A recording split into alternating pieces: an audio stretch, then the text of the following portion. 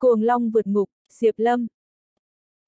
Tập 20 Ở trong mắt người ngoài, người ngoài không thấy bóng mở bao phủ toàn trường kia. Nhưng ở trong mắt quốc sư, quốc sư lại thấy rất rõ ràng, lại còn cực kỳ sợ hãi. Quả nhiên là hồn kỳ lân. Tư đồ Nhật Thăng đứng ở bên ngoài, cảm nhận rõ ràng uy áp đến từ bóng mở kia, vậy nên không còn nghi ngờ việc Diệp Lâm chính là truyền nhân của sở trưởng sở Trần Yêu. Dù là thiên lộc bảo tháp có thế cần nuốt tất cả yêu tà hay là hồn kỳ lân có thể dọa sợ tất cả yêu quái, đều chỉ có sở trưởng các đời mới có thể dùng được hai loại trí bảo ấy của sở trấn Yêu. Nhất là hồn kỳ lân, nó chính là một sợi hồn phách của thần thú kỳ lân dung nhập trong cơ thể, bình thường không có vẻ gì, chỉ có lúc gặp yêu tà mới có thể bùng nổ uy lực, là thứ duy nhất tồn tại trên thế gian có thể truyền thừa qua các đời sở trường. Hiện giờ, Diệp Lâm thả ra lực lượng hồn kỳ lân, giống như là kỳ lân hạ phàm, chấn áp toàn trường. Người bình thường không bị ảnh hưởng gì cả, chỉ có yêu ma quỷ quái là vô thức cảm thấy sợ hãi, lại không hiểu vì sao sợ hãi. A, à, dưới uy áp mạnh mẽ, quốc sư giả cuối cùng cũng không chịu nổi áp lực, than hồn chấn động, dần ăn ra khỏi thân thể. Thấy vậy, Diệp Lâm lập tức giơ tay lên nằm một cái. Bóng dáng kỳ lân phía sau cũng giơ tay lên nắm yêu hồn của quốc sư giả. Một luồng yêu hồn lập tức bị kéo mạnh ra khỏi cơ thể quốc sư. Diệp Lâm nắm chặt yêu hồn trong tay, thực tế là lực lượng hồn kỳ lân nắm chặt yêu hồn. Ngay sau đó, Diệp Lâm trở tay đánh một trưởng vào ông cụ gầy yếu, thực tế là đánh hồn phách ra khỏi cơ thể. Ngay sau đó, một người, một yêu, hai lưỡng hồn phách về đến cơ thể của mình sau cái phất tay của Diệp Lâm. A, à, quốc sư hô lên một tiếng, sau đó vui vẻ nói, tôi quay về rồi. Tôi biến về rồi. Còn tên quốc sư giả kia bị buộc nhét vào trong cơ thể ông cụ gầy yếu, ho khan liên tục, vừa tức giận vừa sốt ruột.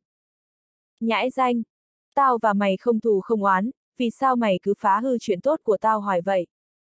Ông cụ kia trừng Diệp Lâm bằng đôi mắt giận dữ như muốn tóe ra lửa. Ông ta tính kế nhiều năm, bây giờ tất cả đều như nước chảy về Biển Đông. Sao ông ta có thể không hận cho được chứ? Chính ta không đội trời chung. Diệp Lâm lạnh nhạt nói, người và yêu cũng giống như thế. Ông không cùng tộc với tôi, sao tôi có thể tha cho ông được? Các vị, vụ án quốc sư thật giả đã được tôi phá án rồi, các vị tin được chưa? Nghe vậy, quốc sư dẫn đầu đứng dậy, khom người, nói bằng giọng điệu biết ơn, cảm ơn cậu đã cứu tôi. Còn ba vị đứng đầu ba bộ, tuy rằng ai cũng cảm thấy khó tin, nhưng có nhân chứng vật chứng trước mắt, lại không thể không tin. Ai cũng không ngờ rằng kết quả cuối cùng lại xoay ngược 180 độ như thế. Thật không ngờ, nhiều năm trôi qua rồi, quốc sư làm quan chung một chiều chung với chúng ta lại là giả. Tranh án tòa án nhân dân cảm thán. Che giấu sâu thật đấy. Viện trưởng viện kiểm sát cũng cảm thán liên tục. Người đâu, bộ trưởng bộ tư pháp đập lên bàn một cái, quát lên, mau bắt tên yêu nhân kia cho tôi. Bộ trưởng vừa ra lệnh, đám thị vệ hai bên lập tức bao vây yêu nhân. Quốc sư giả lắc người một cái, lực lượng lan tràn, dễ dàng đánh bay hơn 10 thị vệ vóc dáng vạm vỡ, đồng thời thả bay yêu khí của bản thân. Sau đó, thân thể của quốc sư giả giống như là bị đốt cháy, đần ân tan chảy, không giống hình người. Một bóng yêu dữ tợn lại đáng sợ hiện ra, bật nhảy lên cao, phụt lên trên nóc nhà. Mọi người thấy vậy đều cực kỳ sợ hãi. Ngay cả lão quốc sư thấy thân thể mình từng ở bị. Đốt chảy thì cũng sợ đến mức sắc mặt trắng bệch, sợ người bị đốt chảy tiếp theo sẽ là mình. Cái thân thể nát bấy ấy là tao chuẩn bị cho mày yêu nhân hét dài, lạnh lùng nói, nhưng bây giờ đã vô dụng rồi. Bởi vì yêu nhân chỉ có thể đoạt thân thể quốc sư, chứ không thể giữ cho thân thể quốc sư không chết được. Vậy nên yêu nhân mới chuẩn bị một thân thể khác. Nghĩa là khi hồn phách quốc sư tan biến, không bao lâu sau thân thể quốc sư cũng sẽ hư thối theo. Nếu vậy thì yêu nhân không chỉ mất đi thân phận địa vị của quốc sư, mà còn bị lộ yêu khí trên người. Vì thế, mấy năm qua, yêu nhân vừa đoạt thân thể quốc sư, vừa làm quốc sư nửa chết nửa sống mà tồn tại. Nhưng mà bây giờ, Diệp Lâm hoàn toàn vạch trần quốc sư giả, nó không cần phải ngụy trang nữa, nên thả ra hết yêu lực của mình. Trong nhất thời, yêu khí tràn ngập toàn trường khiến người ta cảm thấy khó thở. Oan có đầu, nợ có chủ. Yêu nhân định chém Diệp Lâm trước, tiếp đến là giết lão quốc sư rửa sạch thủ oán. Thấy vậy, Diệp Lâm không chút do dự ném thiên lộc bảo tháp lên trên không trung. Ngay sau đó, thần thú tỷ hưu ở trong tháp bay ra ngoài, chỉ một ngụm là nuốt trọn yêu thân cao ba trượng của yêu nhân vào trong bụng, sau đó chui trở lại tháp. Không hổ là thiên lộc bảo tháp, tư đồ nhật thăng hô lên, vừa ra là có thể nuốt con yêu nghiệt kia vào trong tháp. Giờ phút này, mọi người ở hiện trường còn chưa kịp phản ứng lại thì Diệp Lâm đã giải quyết xong hết mọi phiền phức trước mắt rồi. Thiên lộc bảo tháp, tranh án thấy vậy thì rất là giật mình, đó là bảo vật của sở chấn yêu mà. Chẳng lẽ cậu là truyền nhân của sở trưởng sở chấn yêu? Tranh án là người lớn tuổi nhất ở đây, chỉ nhìn một cái là nhận ra ngay thiên lộc bảo tháp. Đám người còn lại dù chưa thấy tận mắt sở chấn yêu, nhưng cũng đã từng nghe nói đến sở chấn yêu. Lúc này, bọn họ nhìn về phía Diệp Lâm với ánh mắt tràn đầy kính sợ. Bọn họ thầm nghĩ, hóa ra cậu trai trẻ họ Diệp kia chính là truyền nhân của sở chấn yêu. Chắc cậu ta cũng chính là người giải quyết dị tượng tối hôm qua. Cậu ta nói thật không hề nói dối. Lúc này, Diệp Lâm không hề để ý đến mọi người, mà cứ nhíu mày nhìn chằm chằm thiên lộc bảo tháp trên không trung. Chẳng lẽ không chấn áp được hả?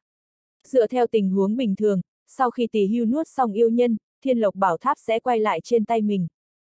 Nhưng giờ phút này, thiên lộc bảo tháp vẫn cứ, bay giữa không trung, dường như đang trong trạng thái chưa giải quyết xong. Đúng lúc này, ầm, um, một tiếng nổ vang trời giống như là tiếng sét nổ trên đất bằng. Thiên lộc bảo tháp bị vỡ ra một góc. Một luồng khói đen tràn ra khỏi tháp, bao phủ khắp đại sảnh, giống như mây đen tụ tập. Có chuyện gì vậy? Thấy vậy, mọi người đều thay đổi sắc mặt, không biết lại xảy ra chuyện ngoài ý muốn nào nữa. Ha ha ha ha, lúc này, yêu nhân vừa mới bị thần thú tỷ hưu cần nuốt độ nhiên phát ra tiếng cười điên cuồng. Nó nhanh chóng tụ tập thành hình trên không trung, yêu thân khổng lồ cao ba trượng và yêu khí khiến người ta khó thở áp chế toàn trường lần nữa. Chỉ một sợi tàn hồn của thần thú thôi mà muốn nuốt trôi tao hả? Nằm mơ đi thôi. Đây, là chuyện gì? Con yêu quái lại trốn thoát nữa à? Trong nháy mắt, sau khi tận mắt chứng kiến thiên lộc bảo tháp, cũng không chấn áp được yêu nghiệt đó, còn để nó chạy thoát. Hiện trường lại một lần nữa hỗn loạn. Mọi người đều gặp nguy hiểm và hoảng loạn vô cùng. Ngay cả tư đồ Nhật Thăng đang đứng bên ngoài cũng chết lặng. Ông ta không ngờ rằng thiên lộc bảo tháp, một trong ba bảo vật của sở chấn yêu, đêm qua lại có thể chứa hàng vạn yêu ma, nhưng lại không thể chấn áp được quái vật hôm nay. Đó rốt cục là yêu nghiệt phương nào, mạnh đến mức nào? Hử! Diệp Lâm nhìn thấy cảnh này, không khỏi có chút kinh ngạc. Không ngờ con quái vật này lại mạnh đến thế, ngay cả tỷ hưu trong thiên lộc bảo tháp cũng không thể áp chế được nó. Nhưng đúng như đã nói, thần thú đó dù mạnh đến đâu thì cuối cùng cũng không phải là bản thể của thần thú, mà là một tỉa thần hồn. Nếu gặp phải một con đại yêu vượt qua thần hồn, sẽ rất khó để chấn áp nó. Hừ hừ. Yêu nhân đó cười lạnh mấy tiếng, lại nói, vốn dĩ ta chỉ muốn giết chết tên tiểu tử họ Diệp để rửa hận. Nhưng bây giờ, ta tức giận rồi, ta muốn tất cả những người có mặt ở đây đều phải chết. Vừa nói, yêu nhân đó vừa phóng thích yêu khí từ trong cơ thể ra, như một cơn bão cát nổi lên tại chỗ, quét qua toàn bộ nơi này và phá hủy mọi thứ. A, à, mọi người chưa bao giờ nhìn thấy cảnh tượng kinh khủng như vậy, trong lòng tràn đầy đau buồn và hoảng sợ. Tiêu rồi, ngay cả tư đồ Nhật Thăng cũng lao tới muốn giúp đỡ, nhưng ông ta không thể chống lại được yêu khí đáng sợ đó, bị thổi lùi mạnh lại phía sau, làn da đau đớn như bị dao cắt. Ông ta chưa bao giờ nghĩ tới sức mạnh của con quái vật này lại gần ngang với cấp độ của một con đại yêu, đáng sợ đến thế. Đừng có hỗn xược. Lúc này, Diệp Long mắng một tiếng, kỳ lân hồn trong cơ thể cũng gầm lên theo. Sức mạnh của kỳ lân hồn va chạm với yêu khí tại hiện trường, đột nhiên trở nên cực kỳ kích động, không gian khẽ rung chuyển. Diệp chiến thần, mau nghĩ cách đi. Thẩm thường thanh ôm đầu trốn ở một bên, nhìn thấy Diệp Lâm ra tay thì cũng có chút yên tâm. Suýt nữa quên mất, chúng ta ở đây còn có truyền nhân của sở trấn yêu. Những quan chức khác thấy vậy cũng lần lượt lên tiếng, người anh em này nhất định sẽ có cách. Nghe nói đêm qua hàng vạn yêu ma quỷ quái đều bị anh ta làm cho biến mất, chỉ có một con quái vật trước mặt này, hẳn là không thành vấn đề. Nhất thời, mọi người đều đặt hết kỳ vọng vào Diệp Lâm. Không có anh, bởi vì tin vào sở trấn yêu. Hai, thế nhưng, trong lòng tư đồ nhật thăng trầm xuống, cũng không lạc quan. Dù sao, ngay cả bảo bối như thiên lộc bảo tháp cũng không thể làm gì được yêu quái trước mặt, vậy thì người thanh niên họ Diệp này, cho dù có kỳ lân hồn cũng không vô dụng như vậy. Rõ ràng, thực lực của con đại yêu này vượt xa linh hồn của hai con thần thú này. Trừ khi là kỳ lân bản tôn ở đây. Tuy nhiên, tư đồ nhật thăng không có bất kỳ hy vọng nào về điều này. Trong chớp mắt, yêu lực của đại yêu một lần nữa chiếm thế thượng phong, dần dần áp chế sức mạnh của kỳ lân hồn do Diệp Lâm phóng thích ra. Ha ha ha ha ha. Đại yêu cười điên cuồng, tên nhóc, tuy rằng ngươi có chút thực lực, nhưng cũng không nhiều. Dựa vào sức mạnh của hai tàn hồn này mà cũng muốn áp chế ta, ý nghĩ này thật là ấu trĩ. Chút sức mạnh kỳ lân hồn của ngươi, theo như ta thấy, chỉ như hạt cái trong sa mạc. Trừ phi kỳ lân thật còn sống, bằng không đừng mơ khống chế được ta. Audio điện tử võ tấn bền. Trong khi cười điên cuồng, con đại yêu lại một lần nữa phóng thích yêu lực của mình, thể hiện sức mạnh đáng sợ của mình một cách vô đạo đức. Nhất thời, không chỉ bên trong hội trường của tòa án nhân dân cấp cao, mà cả bên ngoài cũng nổi lên một trận gió lớn, tà khí tràn ngập toàn bộ thành Yến Kinh. Dưới yêu lực cuồng nộ của con yêu quái đáng sợ này, ngay cả Diệp Lâm cũng lùi lại một bước. Kỳ lân hồn trong cơ thể anh đột nhiên nhạt đi rất nhiều. Mọi người xung quanh nhìn thấy điều này, họ càng trở nên sợ hãi hơn. Tư đồ Nhật Thăng càng tuyệt vọng hơn và tự nghĩ, lẽ nào hôm nay phải thả con quái vật này, để nó tùy ý làm gì thì làm. Không ai có thể kiểm soát được nói. Diệp Lâm cũng cảm thấy có chút bất lực, trong lòng thầm nghĩ, xem ra, chút sức mạnh mà sư phụ thứ 107 ban cho mình cũng không thế làm gì được con đại yêu trước mặt. Ngay lập tức, Diệp Lâm lấy ra quy nhất kiếm, chuẩn bị dùng kiếm để giết con yêu quái này.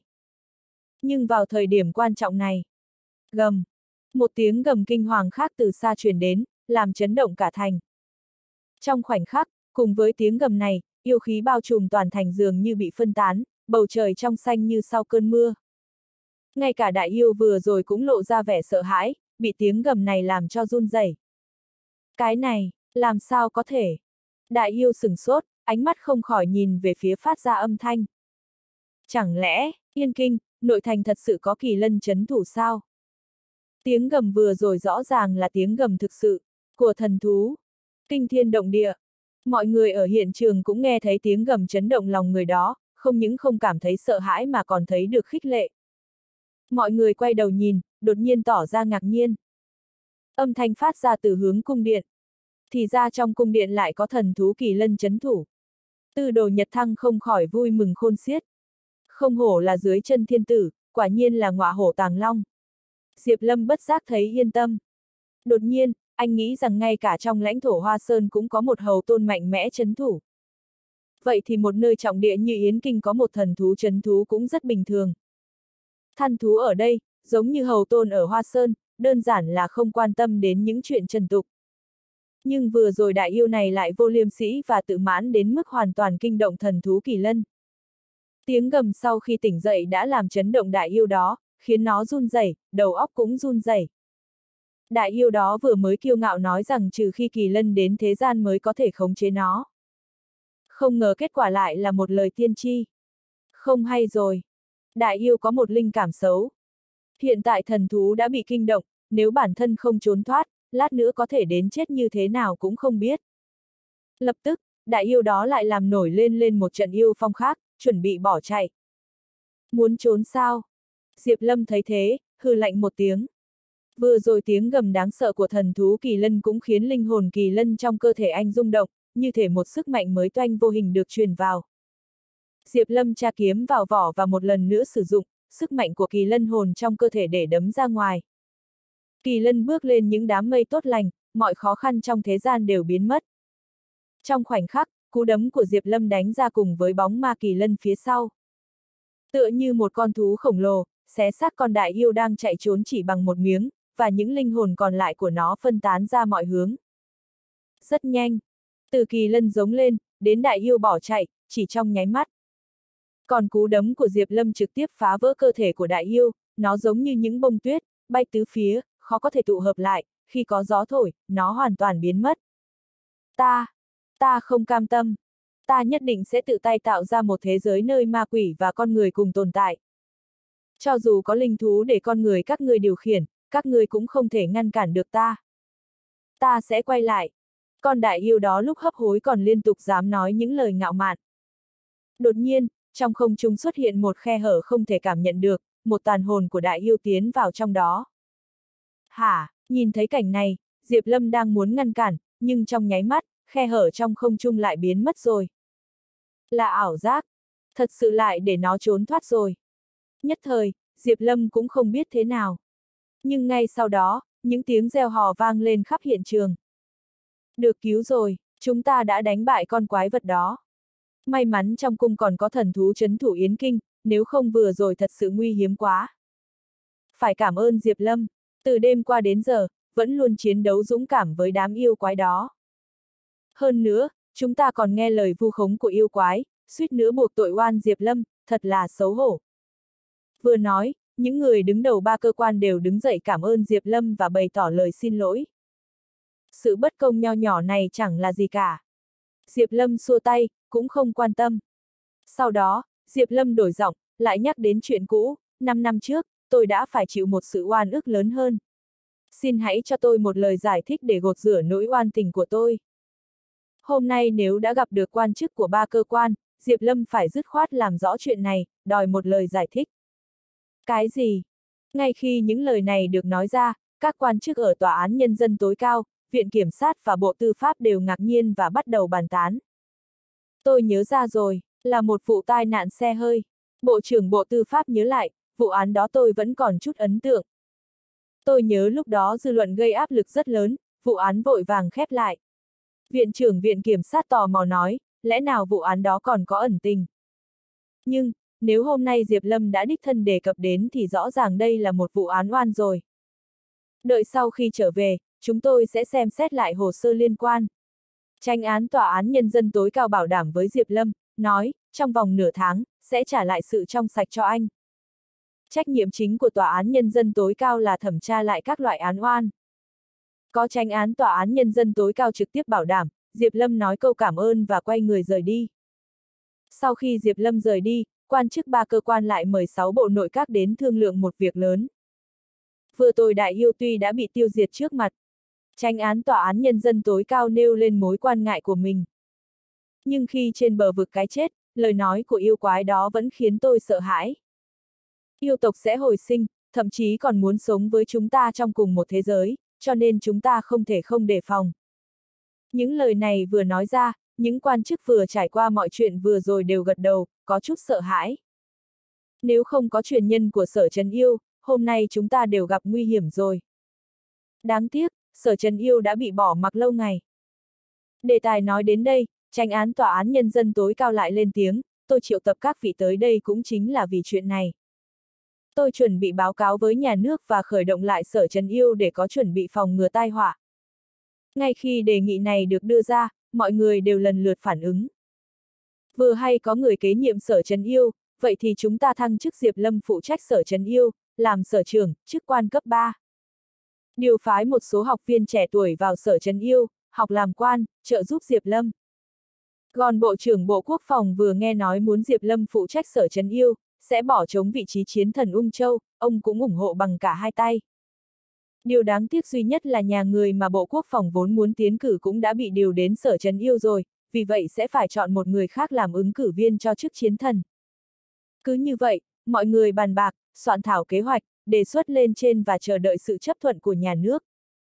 Dự kiến trong vòng nửa tháng, Sở Trần Yêu sẽ được tổ chức thành lập lại, Diệp Lâm có thể nhậm chức rồi. Trạng Nguyên dạo phố, cùng vui với dân. Trong nhất thời, hiện trường trở thành biển hoa tươi vui mừng. Vô số người xem trò vui chen chúc ở hai bên đường, nhón chân lên nhìn phong thái Trạng Nguyên. Trạng Nguyên dạo phố là sự kiện năm nào cũng có. Vì giành được vị trí tốt, tôi đã đứng ở đây từ sáng sớm, chỉ mong dính chút không khí vui mừng. Lát nữa tôi phải xin chữ ký của Văn Trạng Nguyên để treo trước đầu giường con trai tôi, cầu mong sau khi lớn lên nó cũng có thể chúng Trạng Nguyên làm dạng dỡ tổ tiên. Diệp Lâm bị đám đông chen kín mít, không thể đi đâu được. Nhìn từ xa lại, chỉ thấy cuối con đường có hai chiếc xe chính phủ mở đường, theo sau là đám học sinh trẻ tuổi cưỡi ngựa, dẫn đầu là hai người mặc trang phục tiến sĩ Trạng Nguyên sang trọng. Hai người đàn ông dẫn đầu chính là văn võ Trạng Nguyên năm nay. Theo sát bên là đám học sinh ưu tú như bảng nhãn, thám hoa. Mọi người thấy bọn họ đi tới thì sôi nổi vỗ tay khen ngợi, tiếng reo hò như sét đánh bên tai vang lên liên tục. Bọn họ đều là trụ cột nước nhà khiến cho người ta vừa kính sợ vừa khâm phục. Văn võ trạng nguyên. Lúc này, Diệp Lâm chợt nhớ đến lúc nãy Hoa Quốc Đống nói chuyện qua điện thoại là sẽ mở lại sở trấn yêu, đồng thời điều động văn võ trạng nguyên và đám học sinh ưu tú năm nay phụ tá cho mình. Diệp Lâm lập tức cảm thấy hứng thú, muốn nhìn xem phong thái đám cấp dưới tương lai của mình. Diệp Lâm nhìn võ trạng nguyên trước, là một người đàn ông vóc dáng vạm vỡ, làn da ngăm đen khỏe mạnh. Anh ta có một cái tên cực kỳ nổi bật, đó là Hầu Quán Quân. Người cũng giống như tên, thật sự có thực lực mạnh nhất toàn quân, từ nhỏ luyện võ ở phủ đô úy, vượt qua mọi khó khăn gian khổ, cuối cùng đoạt được danh hiệu võ trạng nguyên. Còn văn trạng nguyên, Diệp Lâm nhìn kỹ thì thấy, giật mình. Bởi vì văn trạng nguyên là người quen. Anh ta chính là nghiêm bất khí người có tiếng là tài tử hàng đầu Phụng Thiên. Đương nhiên, danh hiệu đó là danh hiệu trước khi Diệp Lâm đi Phụng Thiên. Sau này Diệp Lâm nổi tiếng khắp Phụng Thiên, nghiêm bất khí khinh thường Diệp Lâm, muốn so tài với Diệp Lâm. Hai người so tài cầm kỳ thí họa, cuối cùng nghiêm bất khí thua thê thảm, hộc máu mất siêu. Không ngờ đến khi gặp lại, nghiêm bất khí đã đỗ trạng nguyên, tương lai sáng ngời. Diệp Lâm cảm thán trong lòng, tuy rằng anh ta không bằng mình, nhưng ông nội anh ta từng là đại học sĩ Hàn Lâm Việt, đại nho đương thời, gia phong nghiêm cẩn, muốn giành danh hiệu trạng nguyên cũng không khó. Giờ phút này, nghiêm bất khí ngõi trên lưng ngựa, thỏa thuê đắc ý, mặt mày hồng hào. Đúng với câu đêm động phòng hoa trúc, khi tên đề bảng vàng. Giờ phút này là giờ phút mà anh ta kiêu ngạo nhất trong hơn 20 năm qua. Anh Hầu, nghiêm bất khí nói với võ trạng, nguyên bên cạnh mình, anh xem đó là gì. Nghiêm bất khí chỉ vào đám người đang hoan hô bên đường đi. Là người chứ gì, võ trạng nguyên hầu quán quân không hiểu ra sao. Nghe vậy, nghiêm bất khí âm thầm lắc đầu, thầm mắng một câu võ phu thô tục, không hiểu phong nhã. Không phải đâu, anh hầu. Nghiêm bất khí ngạo nghễ nói, theo tôi thì đây là, gió xuân thỏa chí ngựa phi, xem hoa cho hết trọn ngày Trường An. Là chờ đến mây tan thấy trăng sáng, là nghìn vạn cây hoa lên nở rội. Là tiên cao đỉnh chót vớt, thấy núi quanh nhỏ bé. Nghiêm bất khí nói một cách hùng hồn, hầu quán quân ở bên cạnh nghe mà khen ngợi liên tục. Anh nghiêm, vẫn là người làm công tác vẫn hóa các anh nói chuyện dễ nghe. Hầu quán quân cười nói, tiếc là tôi không có văn hóa, chỉ biết dùng một câu trời ơi để cảm thán thôi. Nghiêm bất khí ngâm thơ làm phú, thấy đối phương không hiểu, bèn đổi sang đề tài khác, nhắc đến dị tượng đêm trắng tối qua. À phải rồi anh Hầu, tối qua anh có để ý thấy dị tượng đêm trắng hay không? Nghe vậy, Hầu quán quân lắc đầu nói, cứ nghĩ đến hôm nay được cưỡi ngựa dạo phố, tôi liền kích động mà ngủ say sưa, không để ý thấy dị tượng gì hết. Hãy, vậy là anh Hầu chịu thiệt lớn rồi. Nghiêm bất khí tiếc nuối nói, anh biết người ngoài giải thích dị tượng tối qua thế nào không? Hầu quán quân lắc đầu tỏ vẻ không biết. Là bởi vì hai người chúng ta đỗ trạng nguyên, là văn khúc tinh và võ khúc tinh hạ phàm mới dẫn đến dị tượng nghiêm bất khí giải thích theo cách hiểu của mình. Trời ơi, chúng ta ghê gớm vậy sao? Hầu quán quân giật nảy mình, văn khúc tỉnh, võ khúc tỉnh là gì vậy? Nghiêm bất khí cạn lời với anh ta luôn rồi, thăm nghĩ sao mình lại cùng nổi tiếng với một tên võ phu thô tục như anh ta chứ, thật sự là rất mất mặt. Nghĩ đến sau này mình còn phải làm quan cùng chiều với anh ta, thậm chí bị điều đi cùng một cơ quan với anh ta, nghiêm bất khí liền cảm thấy đau đầu. Nhắc đến võ phu, trong đầu nghiêm bất khí lập tức hiện ra một đoạn trí nhớ đau dữ dội không thể nào quên được. Đó là mối nhục trong cả cuộc đời anh ta, dù có muốn quên cũng quên không được. Hai người đều là võ phu, có điều người kia hiểu một chút cầm kỳ thi họa, không tệ lắm khi so với tên, võ trạng nguyên trước mắt này. Nghiêm bất khí đang nghĩ nghĩ thì chợt nhìn thấy khuôn mặt khó quên được xuất hiện trong đám người. Ơ, chẳng lẽ là mình nhìn nhầm? Nghiêm bất khí vội vàng rụi rụi mắt, cho rằng mình nhìn nhầm người rồi. Diệp, Diệp Lâm, nghiêm bất khí nhìn kỹ rồi không thể không tin rằng người trước mắt chính là Diệp Lâm mà anh ta vừa mới nhớ đến, là anh thật hả? Đúng là ma quỷ, nhớ tới là thấy người. Ha ha, Diệp Lâm cười chắp tay nói, bất khí, chúc mừng nha. Thấy vậy, nghiêm bất khí siết dây cương dừng ngựa lại, chắp tay cười nói với Diệp Lâm đang đứng trong đám người, là anh hả, anh Diệp, đã lâu không gặp rồi. Nghiêm bất khí của hiện giờ gặp lại Diệp Lâm, tuy còn có chút bóng ma tâm lý, nhưng nói đến cùng hiện giờ mình đã trở nên tốt hơn rất nhiều, cảm giác ám ảnh ngày ấy cũng đã hết sạch. Nghiêm bất khí từng thua thê thảm trong tay Diệp Lâm, đúng là đã tỉnh ngộ rồi. Có điều hôm nay, anh ta đỗ trạng nguyên, anh ta cảm thấy mình sống lại rồi. Trong mắt anh ta, sự tranh lệch hiện giờ của hai người họ giống như là người trên ngựa người dưới ngựa, khác nhau như trời với đất. Anh nghiêm, đây là bạn của anh hả? Hầu quán quân thấy Diệp Lâm dù đứng giữa đám đông thì cũng có vẻ nổi bật hơn người, nhìn là biết ngay cao thủ giấu tài. Anh ta cảm thấy ngạc nhiên, không ngờ một tên thư sinh yếu đuối như nghiêm bất khí lại quen biết một vị cao thủ như thế. Bạn hả, nghiêm bất khí cười khinh thường, chắc là vậy, mà nói đúng hơn là đối thủ cũ của tôi.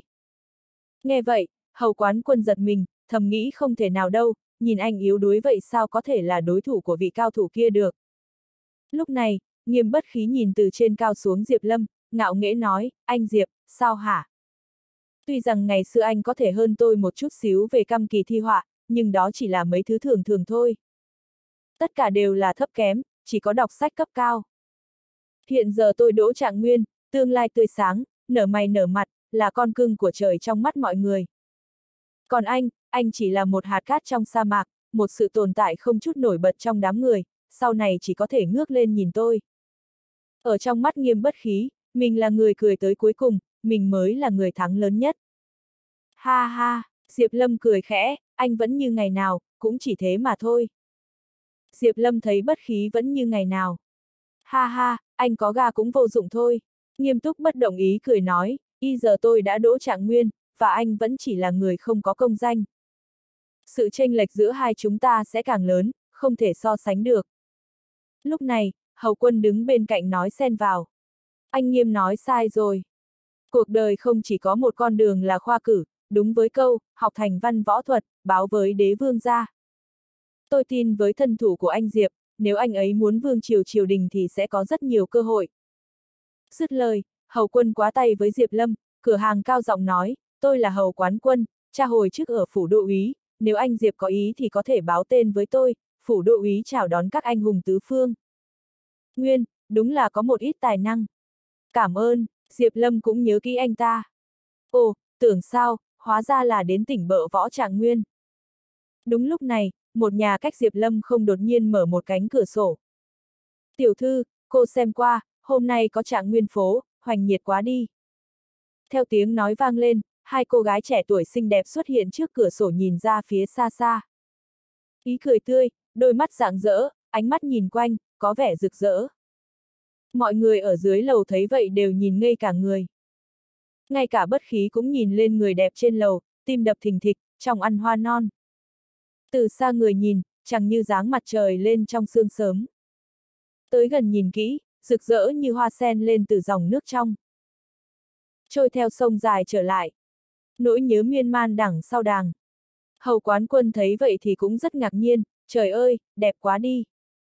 Lúc này, trong đám đông có người tin tức nhanh nhạy, nhìn một cái là nhận ra thân phận hiển thị hách của người đẹp trên lầu. Anh ta cướp mình nói, đó là khổng đại tiểu thư khổng mộng kỳ, cháu gái của khổng đại nhân bộ trưởng bộ tài chính đây mà. Nghệ thuật như vậy, hiện trường trở nên mạnh mẽ hơn. Không ngờ cô ấy lại là cháu gái bộ trưởng, đúng là người đẹp ra thế cũng đẹp. Không biết loại đàn ông nào mới có thể xứng đôi với con gái của trời như cô ấy. Là cháu gái của khổng đại nhân hả? Nghiêm túc suy nghĩ như vậy là nhẹ nhàng với mình. Hóa ra là cô ấy. Lớn lên lại đẹp như vậy. Vui vẻ của sư huynh mình hả? Nhịp tim khổng mộng kỳ nhanh hơn. Lúc này, hầu gái bên cạnh khổng mộng kỳ lớn tiếng hô lên, hôm nay tiểu thư nhà tôi muốn ném tú cầu gặp xuyên trời định. Lát nữa ai có thể nhận được tú cầu của tiểu thư nhà tôi là sẽ trở thành cô gia nhà họ khổng. Cái gì? Nghe vậy, mọi người ầm ý lên, thậm chí cả toàn trường đều nhìn về phía hai cô gái, không còn ai để ý đến chuyện trạng nguyên dạo phố nữa. Nếu có thể cưới được người vợ xinh đẹp như vậy, tôi bằng lòng giảm thọ 10 năm. Nếu được cưới cháu gái bộ trưởng, tôi đồng ý ở rể nhà họ không. Chọn con trai tôi đi, con trai tôi năm nay 10 tuổi, đẹp trai, có thể làm con rể nuôi từ bé. Thấy đám người phía dưới bàn tán ồn ào, hầu gái che miệng cười nói, tiểu thư, vừa lúc ở đây có văn võ trạng nguyên, hay là cô cứ chọn một trong hai người họ đi. Lúc này, nghiêm bất khí và hầu quán quân đang cưỡi ngựa đứng trong đám người, cực kỳ nổi bật. Hầu gái chỉ vào nghiêm bất khí, nói, tên kia trắng nõn sạch sẽ, trông không tệ lắm. Thấy hai người trên lầu nhìn về phía mình, nghiêm bất khí sửa sang quần áo, chuẩn bị sẵn tâm lý có hai việc vui. Khổng mộng kỳ cười nói, tiểu bạch kiểm thôi, không đáng tin cậy, nhìn là biết chó gầy rồi. Hầu gái chỉ sang hầu quán quân mặt đen, vậy tên mặt đen kia đi, trông rất khỏe mạnh. Hầu quán quân thấy hai người nhìn về phía mình thì vẫy vẫy tay với trên lầu, em khổng, em còn nhớ anh không? Khi còn nhỏ hai ta giành đồ chơi, anh còn đánh cho em khóc luôn đấy. Sau đó cha anh treo anh lên trên cây, đánh anh ba ngày ba đêm. Nghe vậy, khổng mộng kỳ dở khóc dở cười, anh ta và tôi có thù khi nhỏ, hai nhà lại quen biết nhau, không được đâu. Dù sao hôm nay có trò ném tú cầu là vì khổng mộng kỳ muốn phản kháng chuyện ông nội mai mối cho mình, cô chỉ làm ra vẻ thôi, không thể coi là thật được. Nếu ném tú cầu cho người quen thì chuyện sẽ phiền phức lắm. Hay là nhắm mắt ném bừa đi hầu gái nói, duyên trời định. Đúng là khổng mộng kỳ một tìm bừa một người, nhưng mà cũng phải tìm bừa người mà mình thấy vừa ý mới được. Lúc này, cô để ý thấy Diệp Lâm đứng bên trong đám người, chỉ có ánh mắt của anh là bình tĩnh từ đầu đến cuối, chưa từng có gợn sóng. Khổng mộng kỳ cảm thấy không phục, nghĩ thầm, chẳng lẽ sức quyến rũ của tôi không đủ để anh động tâm hay sao? Tôi không tin anh có thể thờ ơ khi nhận được tú cầu. Thấy Diệp Lâm quay người đi, khổng mộng kỳ vội vàng hô lên, đừng đi. Chụp lấy. Vừa dứt lời, một tú cầu màu đỏ bay từ trên trời xuống, rơi thẳng vào trong tay Diệp Lâm. Tú cầu được ném ra và có chủ. Hiện trường lại vang lên tiếng cảm thán xôn xao, có hâm mộ, có ghen ghét, có chửi rủa. Ơ, ném hụt rồi, nghiêm bất khí ngồi trên lưng ngựa sốt ruột đến mức hét lên. Tận mắt nhìn thấy tú cầu lướt qua mắt mình, chỉ suýt nữa thôi là rơi xuống tay mình rồi, kết quả lại là rơi xuống tay Diệp Lâm.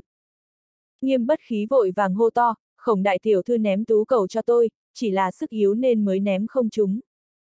Hai, nếu không phải vì tôi đang ở trên ngựa, không tiện hành động thì đã chụp được rồi.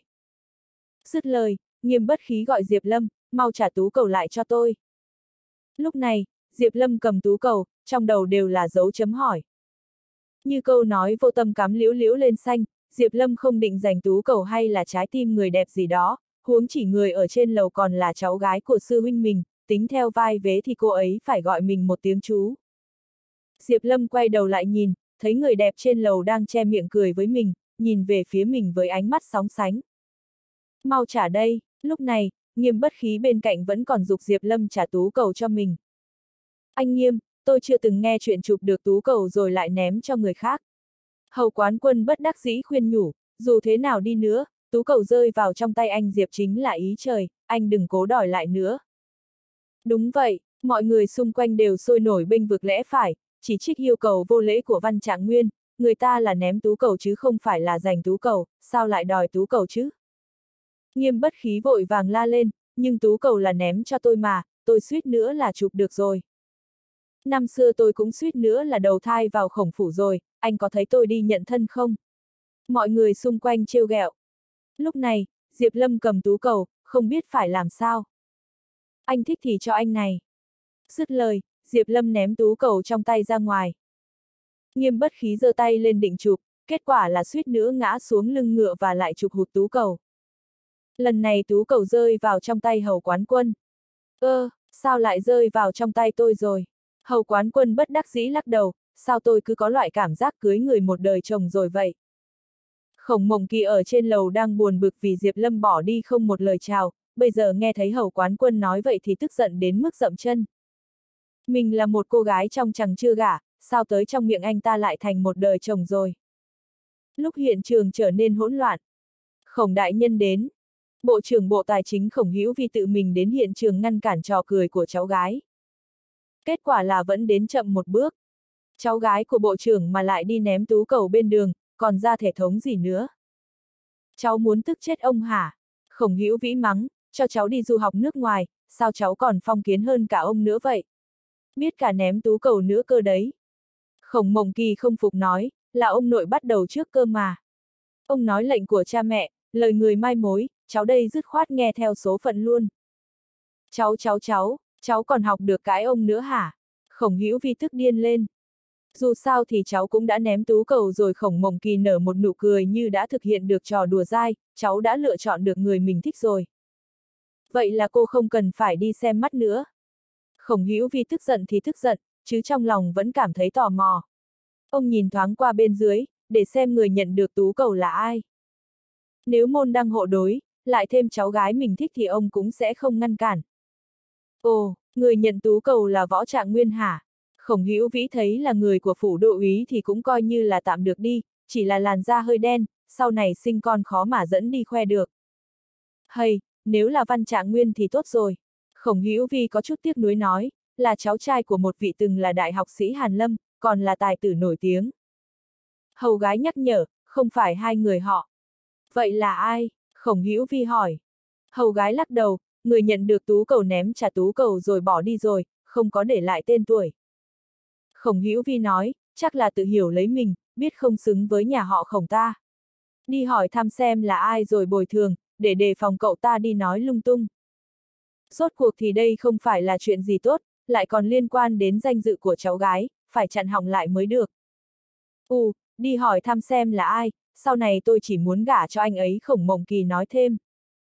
Làm bậy, khổng hữu vi tức giận đến mức thổi dâu chừng mắt, ông cho cháu hai lựa chọn. Một là làm theo sắp xếp của ông, đi gặp sư đệ của ông, hai tên văn võ trạng nguyên kia có cộng lại với nhau cũng không bằng một ngón tay của sư đệ ông, chắc chắn là cháu sẽ vừa lòng. Hai là cháu chọn một trong hai người văn võ trạng nguyên. Cháu không chọn cái nào hết, cháu chỉ gả cho người lúc nãy nhận tú cầu. Khổng Mộng Kỳ nói rồi nghênh ngang bỏ đi. Bên kia, sau khi kết thúc hoạt động dạo phố một vòng thành phố, đám người văn võ trạng nguyên đi vào một nhà hàng nghỉ ngơi. Nghiêm bất khí rảnh rỗi nên gọi điện thoại về gia tộc, chủ yếu là báo tin vui cho ông nội mình, kể lại cảnh tượng nổi bật vinh quang khi nãy của mình. À phải rồi, ông nội, ông biết lúc nãy cháu dạo phố rồi gặp ai không? Nghiêm bất khí cô tay múa chân với điện thoại ha ha, chắc chắn là ông không đoán được đâu. Cháu gặp được Diệp Lâm đấy. Ông đã từng nói là cháu không bằng anh ta, nhưng mà bây giờ thì sao? Cháu cưỡi ngựa trên cao, là trạng nguyên đương triều, còn anh ta là một người thường chen chúc trong đám người ngước lên nhìn cháu. Anh ta không thể nào so được với cháu nữa rồi.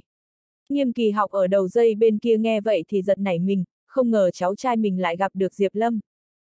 Ông vội vàng khuyên nhủ, dù cháu đỗ trạng nguyên thì cháu cũng đừng khinh thường cậu ta. Ngành y dược ở bên Phụng Thiên của cậu ta đang trên đà phát triển. Cho dù cậu ta có là người thường thì cũng là người giàu nhất một vùng. Cháu đừng coi thường loại nhân vật kiêu hùng như cậu ta, tuyệt đối đừng đắc tội cậu ta.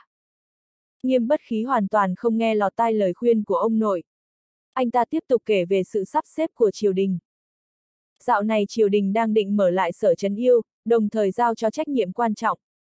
Vậy nên đám học sinh có công danh trong năm nay như cháu đều bị điều đến sở trần yêu. Đây là một cơ hội kiến công lập nghiệp rất tốt, cháu nhất định sẽ nỗ lực thăng quan tiến chức. Anh ta âm thầm thề, nhất định phải đạp người đã từng mang đến nhục nhã cho mình trong quá khứ là Diệp Lâm xuống dưới chân mình vĩnh viễn. Khám thiên giám. Giám chính đại nhân, ông phải đi thật hả?